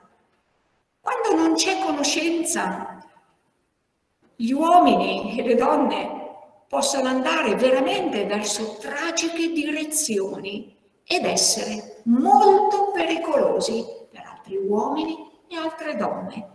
Questo succede quando non sai l'altro è nemico, è l'altra tribù, è, è, è l'immigrato che viene a eh, prendere il nostro lavoro, no? quindi questa... E guardate che ci sono degli esperimenti, ma li, li cito dopo se c'è tempo, che ci dicono davvero quanto male ragioni il nostro cervello, tu l'hai citato, no? che ci fanno vedere l'altro come un nemico, eccetera. Quindi pensate, in quegli anni gli Huntington erano, insieme a tanti altri, eh, nemici, imperfetti da eliminare. Poi arriva Nancy e Nancy accende la luce della scienza e dice lì c'è un gene da studiare, lì c'è un gene da capire, non c'è pazzia. Le streghe di Salem bruciate sul rogo, si pensa in base a alcune ricostruzioni storiche che avessero l'Huntington, non che fossero indemoniate. Ma vedi, sta parola indemoniate, quando non sai, non sono indemoniate, e anche oggi pensate quante volte, ahimè, magari camminando anche noi per strada, e magari incrociando qualcuno che barcolla, mm, diremmo ah, una persona drogata, ah, una persona ubriaca, invece c'è un problema biologico, sempre eh, c'è un problema biologico. Ma pensate appunto in quegli anni addirittura all'eliminazione di persone con delle varianti genetiche, no? Poi arriva Nancy, comincia a studiare, arrivano tanti altri studiosi, dopo un po' arriviamo noi e cosa ci mettiamo in testa di studiare? Ci mettiamo in testa di studiare il gene, giusto? Certo, se vuoi studiare la malattia, devi studiare il gene. Ma non studiamo solo il gene malato, studiamo il gene sano. Nel mio laboratorio si studia anche il gene sano che anche voi avete. Eh? Anch'io ce l'ho quel gene lì. E, ehm, e quel gene sano differisce dal gene malato per una cosa. Il gene sano che noi tutti abbiamo ha un numero di triplette CAG ripetute una dopo l'altra. CAG sono le lettere, hm, i nucleotidi del DNA. CAG, CAG, CAG, CAG, CAG, uno dopo l'altro nel gene Huntington sano, sotto le 35 ripetizioni siamo sani per quel gene. Io posso averne 20, tu puoi averne 22, lei può averne 30, siamo tutti sotto i 35. Il gene malato è sopra i 36. Pensate, eh, la malattia è un pugno di CAG in più e stiamo studiando perché, cosa fa, eccetera. Ma mi interessa a noi in questo momento. Io vorrei sapere, e sono sicura che, no, se via via che ci avviciniamo, sono sicuro che questa domanda viene anche a voi ma perché abbiamo questo gene in corpo? Perché ce l'abbiamo? Nella versione sana, visto che se va sopra le 36 può causare la malattia, perché l'evoluzione non l'ha eliminato? Una bella domanda. Eh? E perché non solo non l'ha eliminato, ma mi viene da dire perché noi siamo variabili per il numero di CAG che abbiamo nel gene Huntington? Siamo variabili come popolazione umana tra 9 e 35, no? Vi ho detto che posso averne 20, 25, 30. Perché non siamo tutti con 22 CAG o 15? O dice, perché non siamo uguali? Pensate quante domande. E se ci pensate non ha a che fare al momento con la malattia, ma ha a che fare con capire i perché. Guardate che bisogna studiare i perché. Se capisci il perché, poi puoi arrivare ad applicare, ma prima capisci perché. Ebbene, sono due le domande, quindi perché abbiamo il gene in corpo e perché siamo variabili come numero di CAG. C'è qualcuno a cui viene in mente qualche idea su come studiare perché abbiamo il gene in corpo, da dove arriva? Eh, qualcuno che vuole azzardare qualche pensiero? Vai. Provare solo Provare? Questo d'accordo, questo lo possiamo fare oggi nel mio corpo e ti dico già, è una bella domanda. Lui è giusta, è giusta. Lui dice, per rispondere perché ce l'abbiamo in corpo, eh, devo capire se ha una funzione, quindi io lo tolgo, il gene, vedo che hai perfettamente ragione. E infatti si scopre che questo gene è importantissimo per mm, lo sviluppo, per le nostre funzioni, eh, anche cerebrale, quindi sì, questo gene è importante nei mammiferi. Se lo toglie al topolino, il topolino non si sviluppa. Ovviamente non possiamo toglierlo agli umani, no? il gene sano. Facciamo però, andiamo un po' più a fondo. Adesso che abbiamo capito che questo gene ha delle funzioni, sano, eh, ha delle funzioni importanti nel nostro corpo, mi viene da dire da dove arriva e soprattutto da dove arrivano i CAG, perché potremmo avere il gene senza i CAG. Che ci fanno questi CAG? Sono i CAG che ci disturbano. Che ci fanno questi CAG? Come fai tu, dimmelo, a studiare da dove arrivano i CAG? Cosa, oh, che, che ne faccio? Siamo in laboratorio, ci stiamo torturando. Io vorrei capire perché ci sono i CAG in questo gene che abbiamo capito è importante. Nel? Eh, mi interessa però i CAG di questo gene. Sì, è vero, ci sono altri CAG nel genoma, ma mi interessano i CAG in questo gene, perché sono i CAG di questo gene che quando espandono causano malattia, giusto? Siamo in questo frangente. Vi dico la risposta. Beh, insomma, per capire da dove arriva il gene e da dove arrivano questi CAG, puoi fare una cosa semplicissima che è guardare indietro nell'evoluzione, giusto? Ti volti indietro e dici, ok, vediamo un po' le specie che via via si sono evolute, se hanno il gene, se hanno i CAG e cosa scopriamo. Il primo sguardo indietro è stato a un miliardo di anni fa, e sì, in laboratorio possiamo studiare le cose che sono successe un miliardo di anni fa, lo possiamo fare anche in altri ambiti, giusto? Nell'astronomia, nell'astrofisica, pensate allo studio del Big Bang, eccetera. E possiamo risalire a una specie che è nata, che è comparsa sulla Terra circa un miliardo di anni fa, che si chiama Dictyostilium discoideum, è un'ameba. Mm? È il primo organismo pluricellulare che compare sulla Terra. Okay? Guardiamo all'ameba, primo organismo pluricellulare, e scopriamo, guardiamo all'ameba perché abbiamo scoperto che quello è il primo organismo ad avere il gene Huntington. Pensate, il gene Huntington compare, il mio, uguale al mio, eh? simile al mio, compare circa un miliardo di anni fa in questa ameba organismo pluricellulare. Tu sai cosa c'è prima dell'ameba? Prima degli organismi pluricellulari ci sono unicellulari. Unicellulare è il lievito. Il lievito non ha il gene. Compare sulla Terra il primo organismo pluricellulare e guarda caso ha il gene Huntington. E ti dico di più, se togli il gene Huntington, sano, eh, è sano, al, all'ameba, l'ameba non, forma, non si forma come organismo pluricellulare, resta cellule sparse.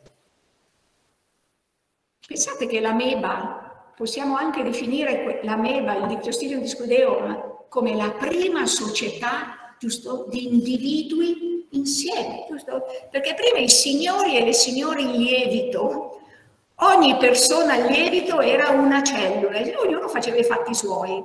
Il dicti invece è pluricellulare, è un, perché è molto più funzionale come organismo pluricellulare, può muoversi molto velocemente verso terreni ricchi di batteri di cui si nutre. Mm? Il primo organismo pluricellulare e c'ha il gene Huntington, ecco perché diciamo che il gene Huntington è un gene sociale, favorisce la socialità, interessante, dai, curiosa, fi, no, filosofeggiare un pochettino. Molto bene, quindi allora abbiamo datato la comparsa del gene Huntington nella meba un miliardo di anni fa. Però poi guardando bene al gene Huntington della meba scopriamo una cosa, non ci sono i CAG. Quindi possiamo dire che quando il gene nasce, nasce innocente. Non ci sono i CAG. Allora scusate, andiamo avanti a cercare di ricomporre la storia dalla meba a noi, perché noi CAG li abbiamo, giusto? Ebbene, dopo il dicti, l'evoluzione si divide in due rami. Da una parte i protostomi, gli insetti, dall'altra i deuterostomi, noi mammiferi, scimmie, un po' più sotto gli uccelli, eccetera, eccetera, no? Quindi protostomi e deuterostomi. E siamo andati a caccia di varie specie per cercare di ricostruire l'evoluzione del gene. Cosa scopriamo? Guardiamo i protostomi. Abbiamo analizzato molti, il DNA di molti insetti. Il gene c'è, ma non ci sono i CAG. E allora immediatamente capisci che la storia dei CAG è una nostra storia, non una roba a caso. E allora ti viene da dire, ok, va bene, quindi è una storia del ramo dei deuterostomi, ma dove comincia la storia? Guardate è una storia stile Sherlock Holmes, eh, questa. Dove comincia la storia? Ma la scienza è così. Dove comincia la storia dei CAG? Nel ramo dei deuterostomi. Do dove comincia? Beh, abbiamo cominciato a guardare alle specie più basali, giusto, del ramo dei deuterostomi. Sai qual è? Sapete qual è la specie, una delle specie più antiche, più basali del ramo dei deuterostomi? È una cosa che mangiamo e ci piace tantissimo. È il riccio di mare. Il riccio di mare è quello della pasta asciutta, no? Quindi cosa abbiamo fatto? Siamo andati in pescheria Abbiamo comprato un po' di riccio di mare, siamo andati in laboratorio, abbiamo estratto il DNA per vedere se c'era il gene Huntington, c'è, e per vedere se per caso lì comincia a comparire qualche CAG. Sì, lì compaiono due CAG. Pensate, prima non c'erano i CAG, eh? Nel dicti si divide, di qua niente, di qua basalmente. Caspita, ci sono due CAG nel gene Huntington e mica sono messi a caso nel gene Huntington. Sono messi esattamente nello stesso punto dove trovi CAG nel tuo gene. Potete immaginare che questo è stato forse un esperimento dell'evoluzione, no? Che schiaffa, modifica DNA così un po' come gli pare e poi i performanti sopravviveranno e dove c'è funzione verrà mantenuta la modifica. Eh, insomma, eh, il riccio di mare compaiono nel, nel gene Huntington del riccio di mare i due CAG esattamente lì, alla diciassettesima posizione della tripletta, no?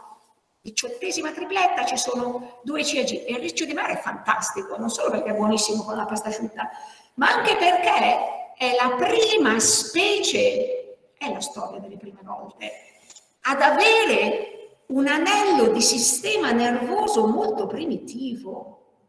Il dicti non ha sistema nervoso e non ha CAG. Il riccio di mare ha un abbozzo grezzo di sistema nervoso e guarda caso c'ha due CAG. Se sei un biologo in laboratorio davanti a questi risultati impazzisci. Perché cominci a dire, ma vuoi vedere che questo ha a che fare con la comparsa e magari e o l'evoluzione dei sistemi nervosi sempre... E allora siamo andati avanti nella storia, siamo andati a caccia di anfiossi, di zebrafish, abbiamo eh, eh, eh, eh chiesto alle persone del laboratorio di andare in tutti i musei, gli zoo, a beccare le, in giro per il mondo, a beccare le specie più assurde e più strane per ricostruire l'evoluzione di questo gene nelle diverse specie. Ve la faccio breve con queste parole. Beh, sì, due CAG nel riccio di mare, 4 nello zebrafish, che è un pesciolino che ha un sistema nervoso molto più evoluto, 7 nel topo, 8 nel ratto, 10 nella pecora, 12 nell'elefante, 15 nelle scimmie e poi arriviamo noi che siamo variabili per il numero di CAG. Noi abbiamo, siamo la specie che ha il numero più alto di CAG, no? arriviamo massimo a 35. Quindi la storia dei CAG che quando vanno oltre 36 causano malattia, mica è una storia da poco, è una storia che ha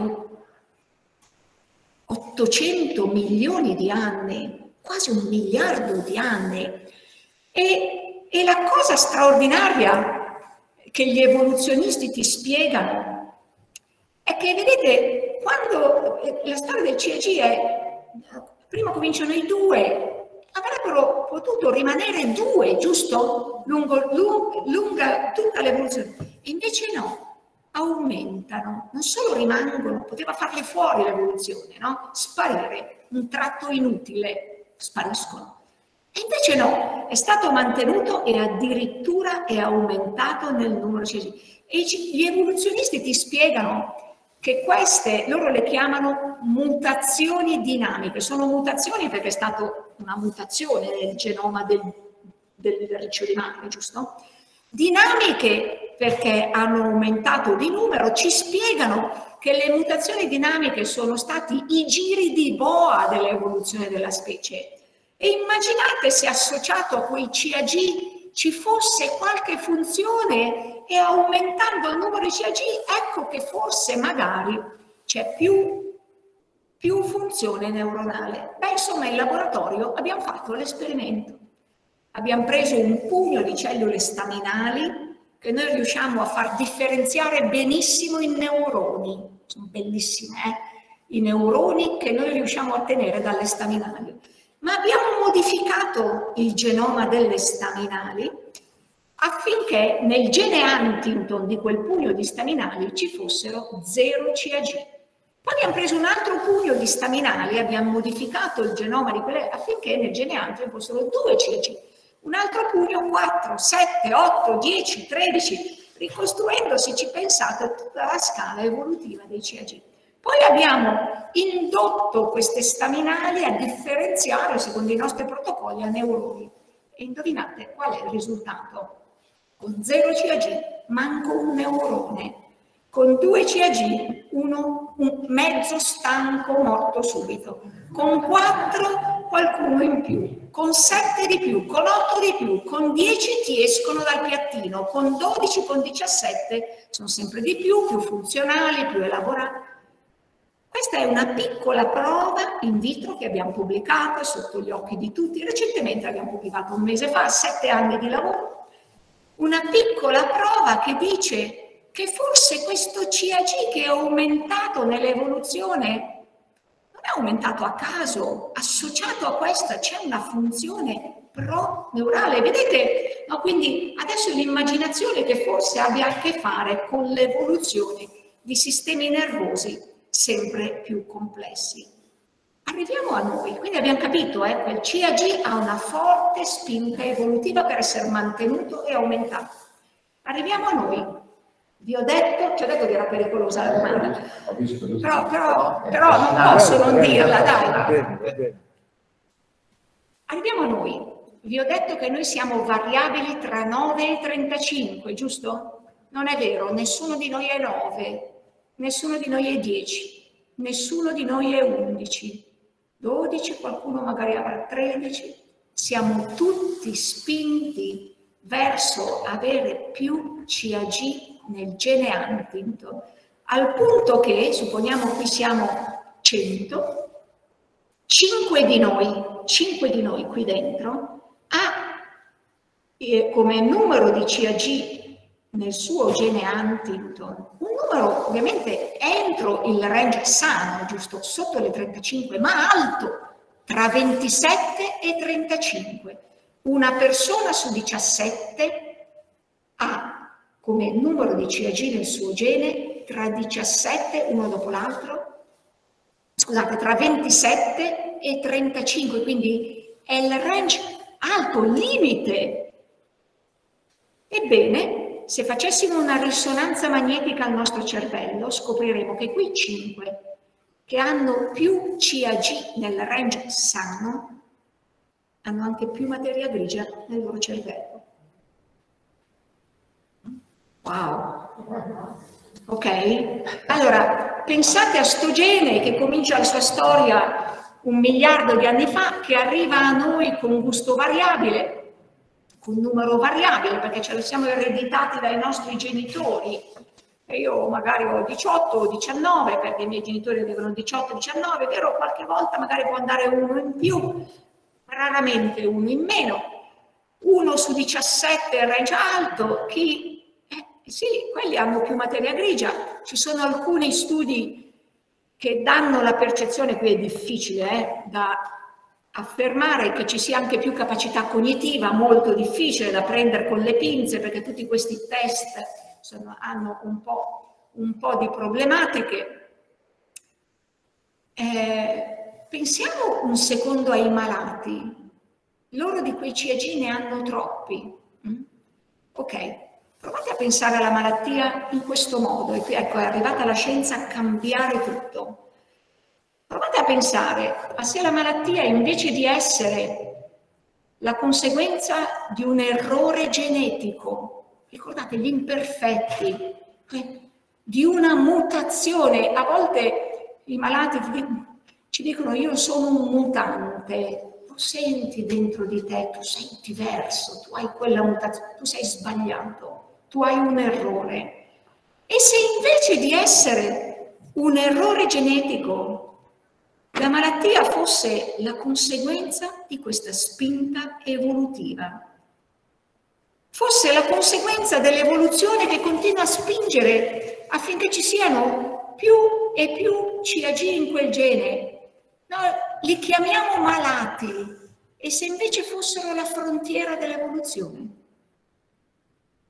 Pensate il giro di boa no? che questi piccoli risultati ti fanno fare nel considerare una malattia. Guarda che se sono la frontiera dell'evoluzione e alcuni dati veramente, oltre a quelli che vi ho detto, sembrano dire così, eh, anche perché pensate che i malati hanno tutti 40, 41, 42 ceci, sono rarissimi quelli con 100 o con 150 ceci, questi sono i casi di Huntington giovanile, sono bambini, hanno ereditato un salto di CAG enorme che però non li fa arrivare alla fertilità e quindi non possono passare il gene. Quindi pensate nell'evoluzione, no, il modo tragico di passare il gene, perché oggi sì è una malattia perché il nostro cervello non regge più di 35 oggi, ma il modo di passare la malattia è di passarne con pochi CAG in più e chissà forse un domani si selezioneranno persone il cui cervello riuscirà a sopravvivere con 40 CAG, riuscirà, anzi otterrà un vantaggio funzionale perché più CAG significa più capacità funzionale, forse si selezioneranno cervelli e individui con 40 CAG, quindi magari tra un milione di anni la specie umana, il suo range non sarà più 35, sarà 40, le sue funzioni cognitive saranno, saranno migliori, però questo è un paradigma davvero che ci spiega quanto, che ci spiega quanto sbagliati siano i nostri pregiudizi, quella è una malattia, no? quanto e, e ci spiega anche a eh, farci carico dei nostri limiti cognitivi. Quando non sai, dipingi con paura, dipingi con negatività, dipingi con errore, mutazione, malattia, è vero, oggi c'è la malattia davvero, ma pensate davvero a quest'altra ipotesi no, di, di, un percorso evolutivo e, e, con i malati che fanno ovviamente parte della nostra evoluzione e loro pagano un duro prezzo per tutti noi, quindi per forza siamo inclusi, per forza no, vogliamo farci carico, eh, insomma, reciproco di, di, del nostro cammino. Basta.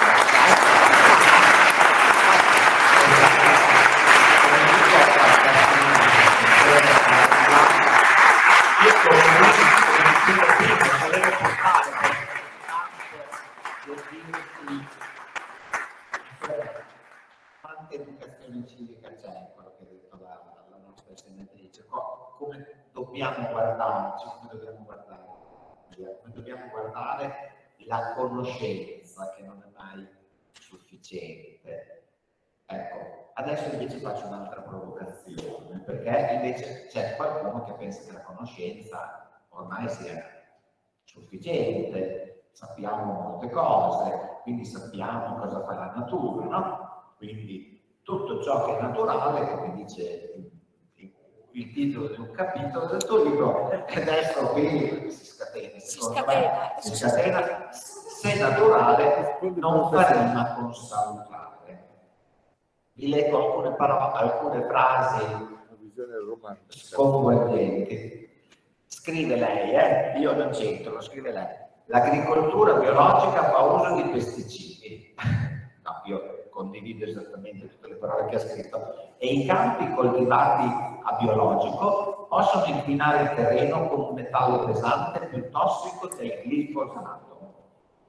Credo sia assai importante squarciare quel velo di ignoranza che ci fa annuire acriticamente agli slogan no ai pesticidi, sì al biologico e aderire a iniziative contro l'agricoltura chimica o per la salute della terra e dell'uomo.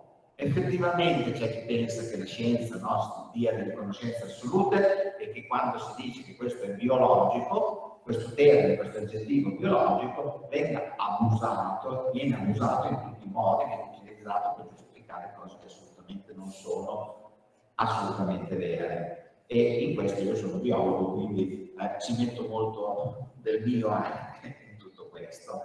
E quindi eh, come facciamo a convincere l'opinione pubblica che naturale non sempre fa rima con salute? eh, adesso vediamo, si preoccupa. Innanzitutto è un campo bellissimo anche questo, guardate che l'agricoltura è affascinante. Affascinante perché è da quando è nata che innova, è il simbolo dell'innovazione. È affascinante perché lo trovo l'ambito, tra tutti gli ambiti possibili e immaginabili delle nostre varie interessi e attività, lo trovo, trovo che sia l'ambito dove la divaricazione tra la realtà e la narrazione è maggiore. Cioè, lì proprio, perché perché tutti ovviamente abbiamo la convinzione legittima di sapere cosa è il cibo, cosa è il buon cibo, cosa preferisco, cosa c'è lì dentro, cioè, il rapporto con il cibo, l'alimentazione, ovviamente è importantissimo. E rischiamo no, di cadere trappola, però, in trappola, nella trappola di questa narrazione, di questo racconto, no? che appunto ci dice che ciò che è naturale è buono. Scusate, la, il virus è naturale, giusto? È buono? I, eh, le medicine che tanti noi prendiamo, tutti noi prendiamo, sono chimiche con la K. Vade retrosatara, ma neanche per sogno. Quindi quest'idea no, del naturale è, è semplicemente eh, un meccanismo che, che riesce a far breccia nel nostro cervello, perché nel nostro cervello le parole grandi, come la parola biologico, e come fa a non essere bello il biologico? ma scusate, esiste forse una zucchina non naturale o una zucchina non biologica? Quindi se cominci a dirmi che ci sono diverse agricolture, io ne vedo una sola, no? È l'agricoltura che innova, che usa l'ingegno, che usa la scienza, che usa la meccanica, no? che usa il metodo per capire e adatta quel metodo in funzione del terreno, delle caratteristiche, delle piante che si vuole coltivare. E esiste una agricoltura. Invece c'è questo racconto che tende a farci credere che esistano tante agricolture ehm, e che alcune siano migliori, quindi c'è anche la demonizzazione no, dell'agricoltura indesiderata. C'è questo racconto per me bellissimo, stupefacente, sull'agricoltura biologica che mi affascina. Mi affascina perché andando a leggere veramente, andando a studiare cos'è e cosa sono i prodotti biologici, ti rendi veramente conto di quanti limiti ci siano qua dentro. Cioè, sto cervello è proprio in una scatola buia, è buio qua dentro.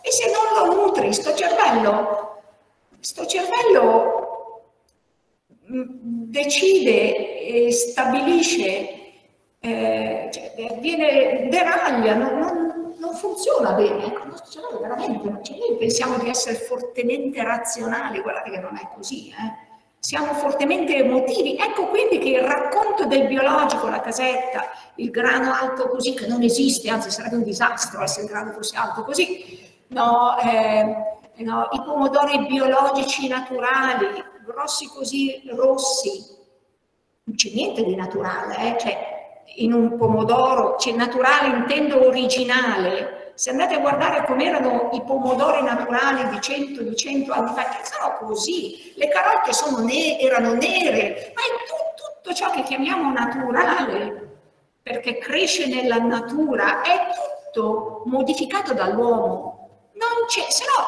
no, no, no, non esisteremmo, non riusciremmo a nutrirci, non riusciremmo a nutrire la popolazione, il mondo. Scusate, adesso con i devastanti problemi di oggi, abbiamo capito cosa vuol dire non avere le commodities, no? non avere il mais, non avere il frumento e studiando ho cominciato a capire la pazzia veramente di questo racconto, perché in genere a volte magari si tende a credere che il racconto, vabbè, è una teoria, ma poi ci sono conseguenze terribili. Cioè, se tu non proteggi le piante di mais, perdi il mais e scopri che negli ultimi 10-20 anni, cioè prima eravamo autosufficienti con il mais, adesso il 45% è importato. Eh, è importato perché in Italia è proibito da sempre coltivare, per esempio, le piante di mais geneticamente modificate che resistono ai parassiti, evitando l'uso no, di antiparassitari, di fitofarmaci, quindi ridurremmo anche quell'uso. Quindi ecco, no, cioè noi non possiamo coltivare il mais, no, perché un mais, ed è un mais che non ha nessun problema per la salute dell'ambiente, certificato, studiato, tant'è che lo coltivano gli altri, lo coltivano in Spagna, lo coltivano in Argentina, lo coltivano in Canada e noi lo importiamo. Questa è la contraddizione di questo paese.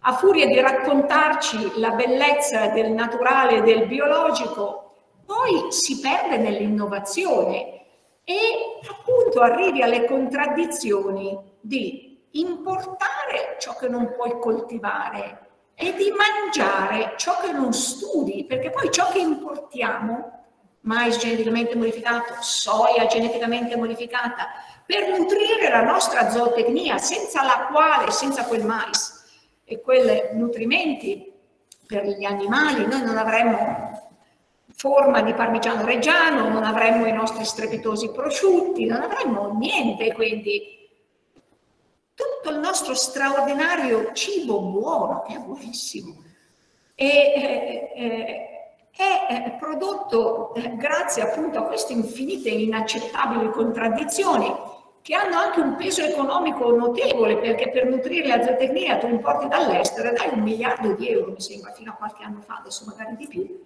all'estero, agli imprenditori stranieri, con, eh, credo che ogni giorno sono 10.000 tonnellate di mais e soia che arrivano con le navi chilometro zero, tutto zero, no?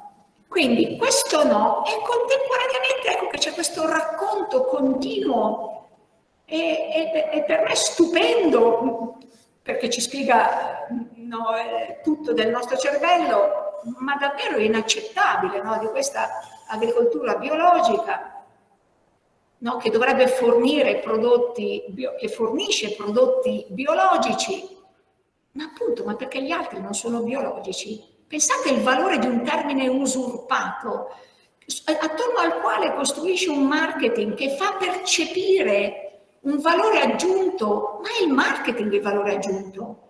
E se tu vai a misurare cosa c'è dentro in quella zucchina biologica, cioè da agricoltura biologica, non c'è dentro niente di diverso di quell'altra zucchina che anche lei è biologica. Ed è da agricoltura integrata, dove integri le conoscenze, e l'agricoltura biologica, se vai a studiarla, davvero è piena di contraddizioni, ma la devi spiegare, la devi raccontare invece di citarla, però insomma c'è questo consenso generale, anche politico, no? per cui è un racconto stupendo. E le contraddizioni e i limiti sono presto detti. Innanzitutto ho scoperto, io non lo sapevo, i prodotti sono definiti biologici non perché c'è qualcosa che misuri sulla zucchina, ma semplicemente perché seguono un disciplinare carta, quindi. Tu devi operare, il disciplinare è stabilito da uomini e donne, da persone, da aziende, ovviamente accettato dall'Europa, quindi qui almeno c'è un disciplinare europeo che dice se fai così, se non usi eh, i fitofarmaci, i pesticidi di sintesi, ma usi i pesticidi naturali, ma i pesticidi naturali sono fatti di chimica, non è che sono, pensate alle contraddizioni, è uno dei grossi limiti che io ho scoperto studiando appunto della, dell'agricoltura biologica è che con questo dogmatismo e con questa ideologia praticamente rifiuta tutta una serie di, di molecole anche innovative, sintetiche, delle quali ne usi in fentogrammi sulle culture, proteggono, quindi divieto di usare queste molecole alla fine si trovano con una piccolissima manciata di molecole per difendere le loro culture, ma i parassiti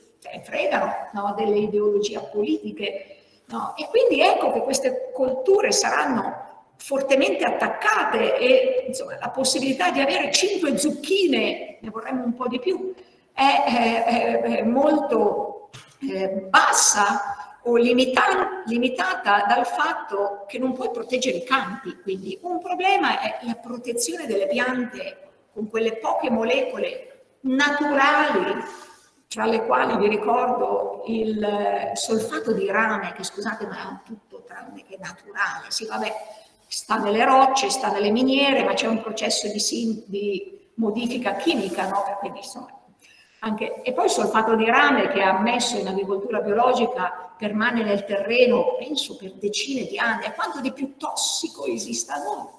o una delle molecole assolutamente con grado di tossicità elevato. Quindi vedete, è un'agricoltura antiscientifica perché rifiuta no, eh, la chimica e le nuove le innovazioni per limitarsi a quelle poche molecole, tra le quali, molte delle quali tossiche. Un secondo elemento è che rifiuta i fertilizzanti di sintesi. No? E tu hai bisogno di azoto per nutrire le piante, ma eh, se eh, ti rifiuti di usare le sintesi chimiche per arrivare ad avere l'azoto, beh, dovrai usare, so, le deiezioni animali, eh, e però l'azoto eh, non è che sono gli animali che lo, rendono, che lo producono dentro il loro stomaco, a loro volta quell'azoto deriva dal nutrimento degli animali, quindi è che torniamo al mais, alla soia, è una contraddizione continua. Però l'agricoltura biologica rifiuta i fertilizzanti chimici e rifiuta eh, i, ehm, eh, le molecole ehm, per eh, debellare le malerbe, perché poi le malerbe contatto, riempiono i campi e quindi, e, e quindi ah, ci sono un sacco di problemi. E quindi l'esito è che la produttività dei campi a biologico è bassissima. Addirittura arrivando per alcuni eh, al 50% meno, al 70% meno. Sapete cosa vuol dire? Ammesso che si voglia dar da mangiare a tutti, perché magari poi no, si vuole arrivare a che solo alcuni mangiano, ma se tutti vogliamo mangiare, io sarei che tutti devono mangiare prodotti sani, al costo giusto, eccetera. Se vogliamo mangiare tutti significa che si devono raddoppiare i terreni, giusto? Ma dissodare nuovi terreni significa disboscare e il dissodamento gas serra, quindi raddoppiare i terreni anche dal punto di vista ambientalistico è terribile. Quindi se tutti dovessimo nutrirci con prodotti biologici, dovremmo disboscare l'Amazzonia o probabilmente coltivare Marte o trovare un pianeta da coltivare. E ultimo uno dice, vabbè, no, eh, eh, eh, un vanto però adesso mica tanto, non più, è quello che sarebbe, avrebbe delle caratteristiche nutrizionali migliori quei prodotti, ma anche questo è stato sfatato. Quindi la domanda è, alla fine del racconto, perché andiamo al supermercato e i prodotti biologici costano il 200% in più, il 250% in più, cioè dov'è il valore? E io qui vedo veramente un problema, perché anche da un punto di vista etico, perché si instilla nelle persone, nei cittadini, anche l'idea con questa narrazione che se tu non nutri la tua famiglia, il tuo bambino con prodotti biologici, tu non ti stai prendendo cura della sua salute, non ti stai prendendo cura dell'ambiente, arrivando al paradosso che magari invece per cercare di alimentarsi con quei prodotti biologici, ecco che le famiglie comprano meno frutta e verdura e qui sì che c'è il problema. Perché ricordate che frutta e verdura sono il miglior nutrimento dell'uomo, antiossidanti, no, contro malattie, tumori, quindi c'è veramente un problema anche sotto il profilo etico. Quindi questa narrazione è straordinaria, ma va sfatata ed è molto difficile, è molto difficile perché è un racconto anche che permette di pagare di più gli agricoltori, no? E insomma c'è un problema perché effettivamente l'agricoltura non rende, ma allora insomma diciamo la verità e spieghiamo ai cittadini che c'è un problema, invece di creare una nuova agricoltura, perché poi se ne possono creare di mille altre, per creare delle nuove nicchie di marketing e di vendita che però a me sembra, in fin dei conti, siano, eh, promuovano una specie di inganno no, ai cittadini facendo loro credere che davvero dal punto di vista nutrizionale non c'è niente, l'ambiente non è migliorato.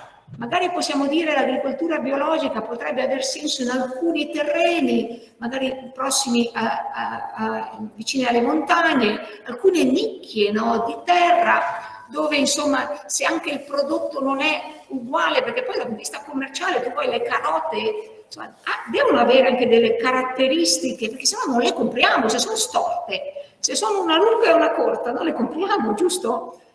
No? Quindi possono esserci delle nicchie di coltivazione no, di questo tipo di agricoltura, cioè idonee a questo tipo di agricoltura, e ciascuno deve essere libero eh, di coltivare e mangiare quel che vuole, sia chiaro.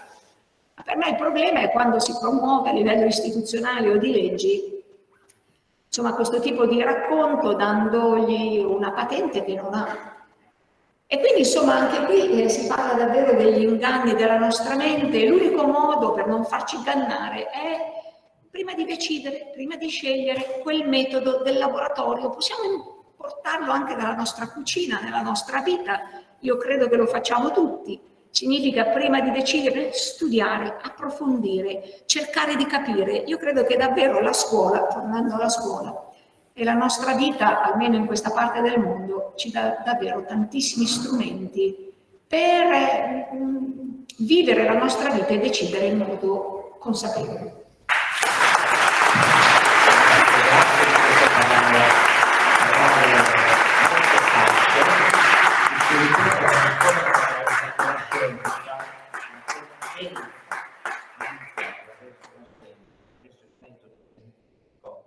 ci può veramente aiutare in tanti campi.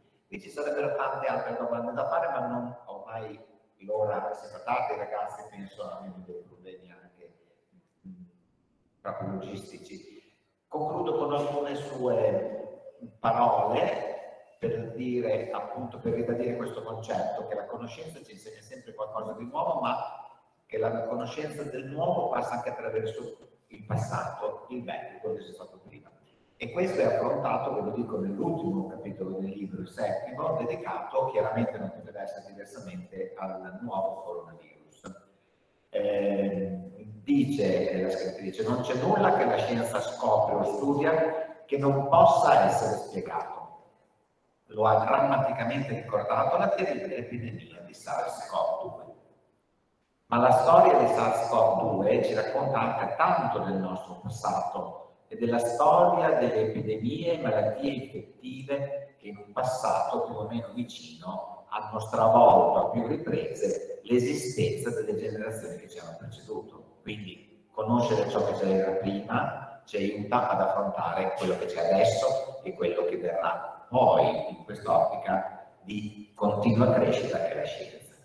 Eh, io a questo punto direi che l'unica cosa che possiamo fare è chiedere se qualche domanda, qualche curiosità nel pubblico, nei ragazzi e chiedere la disponibilità alla senatrice di rispondere.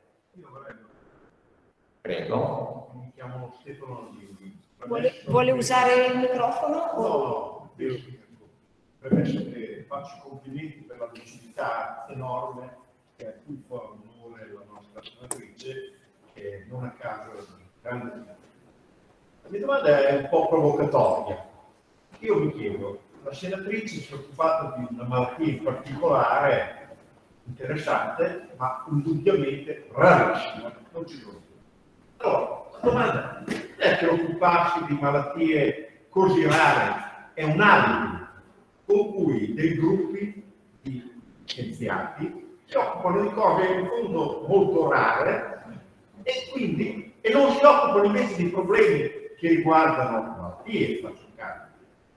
La stragrande maggioranza delle, malattie che noi abbiamo oggi e quindi l'occuparsi di malattie rare è un alibi, un alibi facile in fondo, perché mi occupo di una cosa ristretta che riguarda un pubblico molto piccolo, ma che non sono i problemi che abbiamo tutti, i problemi di malattie di quindi la, la, provocazione è chiara. Va bene, va bene, quindi il fatto che dello, dello studiare, diciamo perché così si racconta gli streaming lo capisce, il fatto che studiare una malattia rara riguarda, riguarda poche persone, invece bisognerebbe studiare, secondo lei, malattie che riguardano un maggior numero di persone.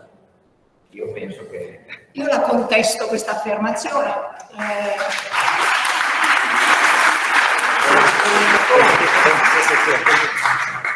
Perché studiare una malattia rara per quelle persone significa studiare tutto. Per quelle persone la malattia da studiare è quella.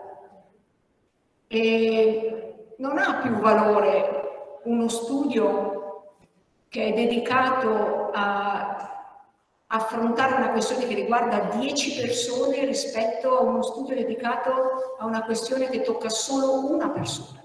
Questa sarebbe discriminazione. Io credo che ci si debba impegnare a studiare ogni ambito del sapere, non solo le malattie. Posso comunque rassicurarla che studiare le malattie rare è difficilissimo, perché eh, ovviamente ci sono pochi fari puntati poche risorse.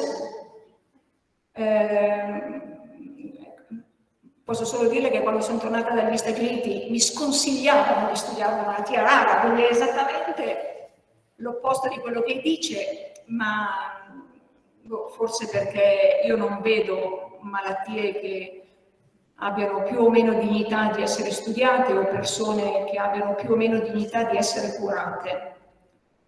E quindi la mia dedizione è e sarà totale. E posso anche dirle che ovviamente significa anche che malattie come l'Alzheimer, il Parkinson, che toccano eh, ovviamente indubbiamente molte persone, eh, hanno i fari puntati di tantissimi laboratori, quindi non è che perché ci sono persone che studiano le malattie rare, le malattie non rare sono meno studiate, anzi vi aggiungo anche un'altra considerazione. Pensi che i colleghi che studiano l'Alzheimer o il Parkinson beneficiano dei nostri risultati e noi che studiamo l'Huntington beneficiamo dei risultati che hanno colleghi che studiano la sclerosi multipla, la sclerosi amiotrofica laterale, si ricorda, vi ricordate che vi ho citato il farmaco del silenziamento genico, giusto un pezzettino di DNA contro il gene Huntington con l'idea di silenziarlo. Sa da dove arriva quella storia per dire quanta cross-fertilizzazione c'è? Da dei botanici che studiavano, che studiavano le petunie e avevano queste belle petunie viola che volevano rendere più viola. E allora cosa hanno fatto questi signori? Hanno preso il gene delle antocianine, che è quello che dà il colore viola, e hanno ficcato nella petunia più copie del gene viola. Ok, però cosa è successo il giorno dopo?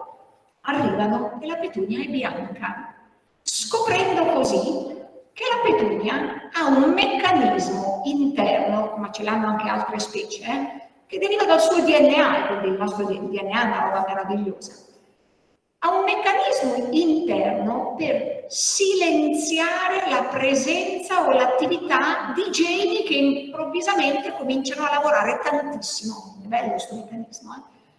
Questo l'hanno chiamato silenziamento genico, quindi la petunia ha un meccanismo per silenziare il troppo gene viola per fare un silenziamento genico. Gli ha dato premio Nobel eh, a questi signori che hanno scoperto questa cosa.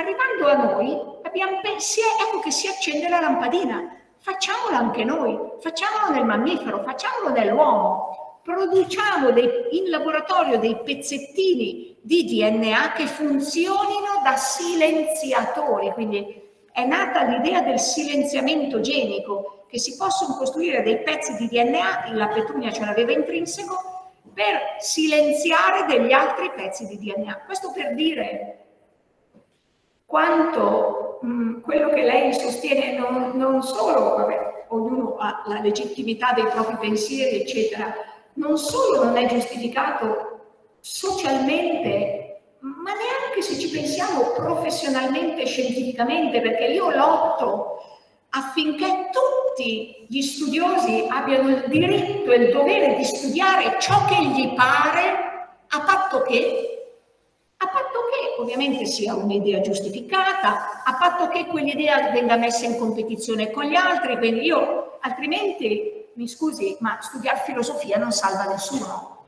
ma io sarei in prima fila a, a eh, a batterli, a lottare affinché il filosofo abbia tutto il diritto di sviluppare il suo prossimo pensiero, ma sono lì al fianco suo.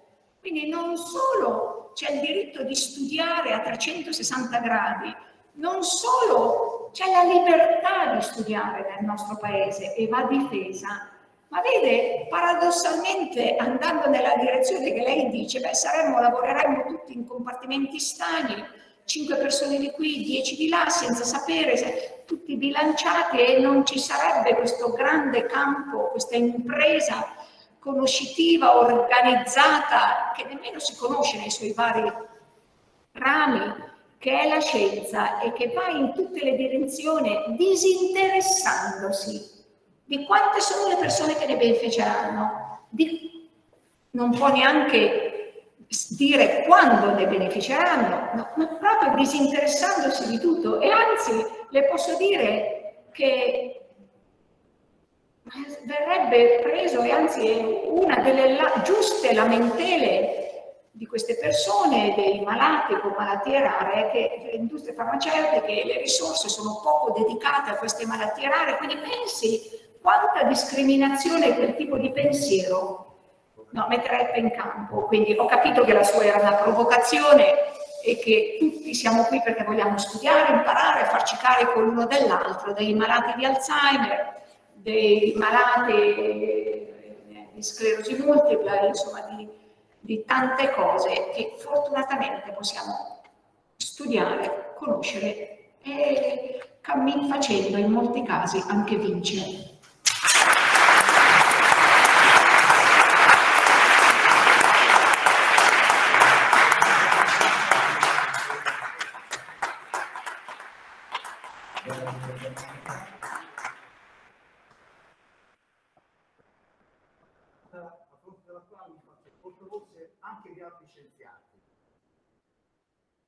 Che si sono posti questo problema, io vorrei spero se lei può rispondere a questo no, ce la fa. Dov'è, se c'è, e qual è il punto in cui la scienza si deve fermare? Mm, bella questa, e rispondo subito. Mai, non esiste, non esiste quel punto. Allora, la conoscenza e la libertà di studiare deve essere totale, totale, attenzione, eh? La scienza indaga l'ignoto. Sarei al fianco di chiunque volesse lottare per il suo diritto di studiare e di capire, eccetera. A me, cioè, penso davvero che sia mal posto il punto dove sicuramente eh, io sono d'accordo e figuriamoci, eh, è che a un certo punto, una volta che la scienza ha studiato e ha capito, ha conosciuto e ha portato le prove, quelle prove sono sul tavolo, beh, l'applicazione e le conseguenze devono essere su un tavolo eh, al quale sono chiamati i vari ambiti della società. No? Quindi non può la scienza eh, decidere, queste sono le decisioni politiche che poi hanno no, delle implicazioni etico, morali, filosofiche, che rappresentano le varie visioni della società. Scusi, in base a questa considerazione si potrebbe anche sostenere, alcuni lo sostengono, che la scienza di fronte alla sperimentazione animale si deve fermare, ovviamente dipingendola anche come vivisezione, sapete che è tutto falso, il termine non esiste, non esiste la vivisezione, si chiama sperimentazione animale che è fortemente regolamentata a livello europeo, a livello italiano, anche se siamo l'unico paese con la legge sulla sperimentazione animale più restrittiva di tutta Europa, non avendo recepito la direttiva europea, contraddizioni, messe in mora, eccetera, eccetera, ma si potrebbe sostenere che la scienza si deve fermare di fronte alla eh, sperimentazione animale, invece ci sono, eh, ci sono eh, ovviamente scienziati, studiosi che pensano che la sperimentazione animale sia importante, debba essere condotta secondo le regole, secondo i canoni e che ci sia un diritto alla scienza, no? e che quindi ci sia un diritto all'avanzamento. quindi si può anche discutere sulla sperimentazione animale, è stato fatto nel 2014, o scusate, per anni, prima di arrivare alla direttiva europea del 2014, intorno a quel tavolo, su questo argomento, c'erano tutti, incluso gli animalisti, e quindi è stata identificata una modalità per affrontare la sperimentazione animale senza la quale non saremmo qui, eh? non avremmo farmaci, entreremmo in ospedale, gli ospedali sarebbero vuoti, quindi poi ci sono anche le conseguenze e anche la necessità che io rivendico, io voglio lavorare per quelle persone, io voglio lavorare per quei malati, Huntington o Alzheimer, che siano, quindi voglio farmi carico di quella responsabilità, ma non decido in modo autonomo. Quindi una volta che capisco che la sperimentazione animale è importante, ecco che l'argomento e le varie modalità attraverso cui viene compiuta la sperimentazione animale diventano argomento di dibattito di una società che è andata avanti per anni e si è arrivata a una conclusione di quella direttiva. Quindi ci deve essere libertà, guardate che la scienza senza libertà non è scienza, eh? perché per porsi su quell'angolo di frontiera, lo scienziato deve avere tutto il campo libero. Se invece gli si, gli si dice tu devi andare solo di lì e non puoi andare di là, stiamo già limitando la possibilità di capire e di indagare. Poi però quando ci sono i risultati, quando ci sono eh, le applicazioni, si può decidere no? se l'editing genomico degli embrioni si deve fare oppure no. Questo spetta alla scienza deciderlo. spetta alla società, ai vari contesti culturali, etico, filosofico, morali, politici di cui, di cui siamo parte. No, affermare la scienza per favore.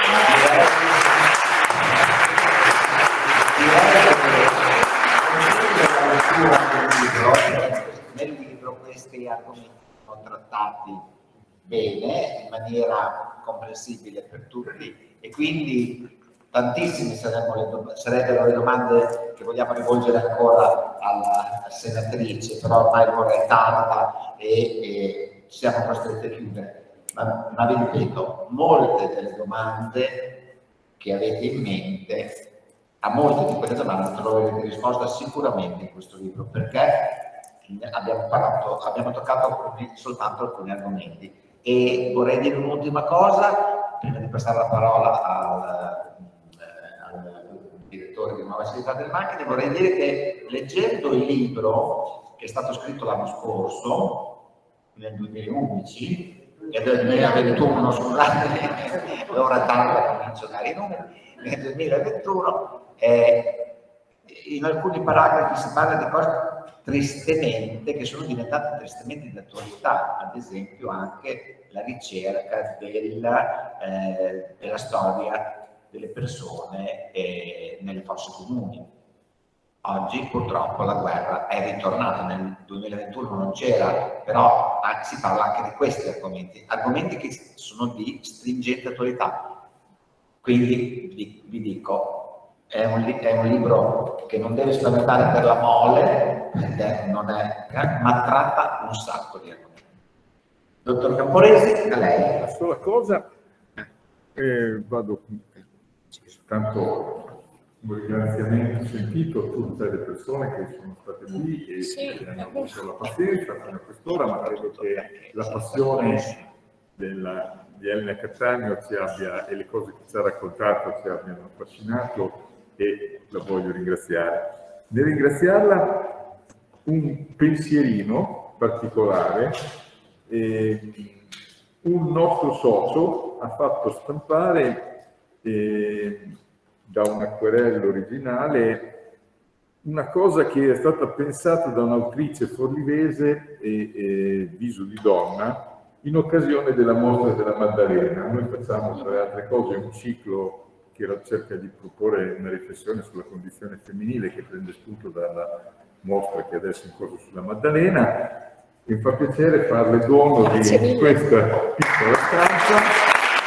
E come estratto del suo passaggio a Cornivese, invito anche, vorrei fare la stessa cosa anche alla vostra dirigente.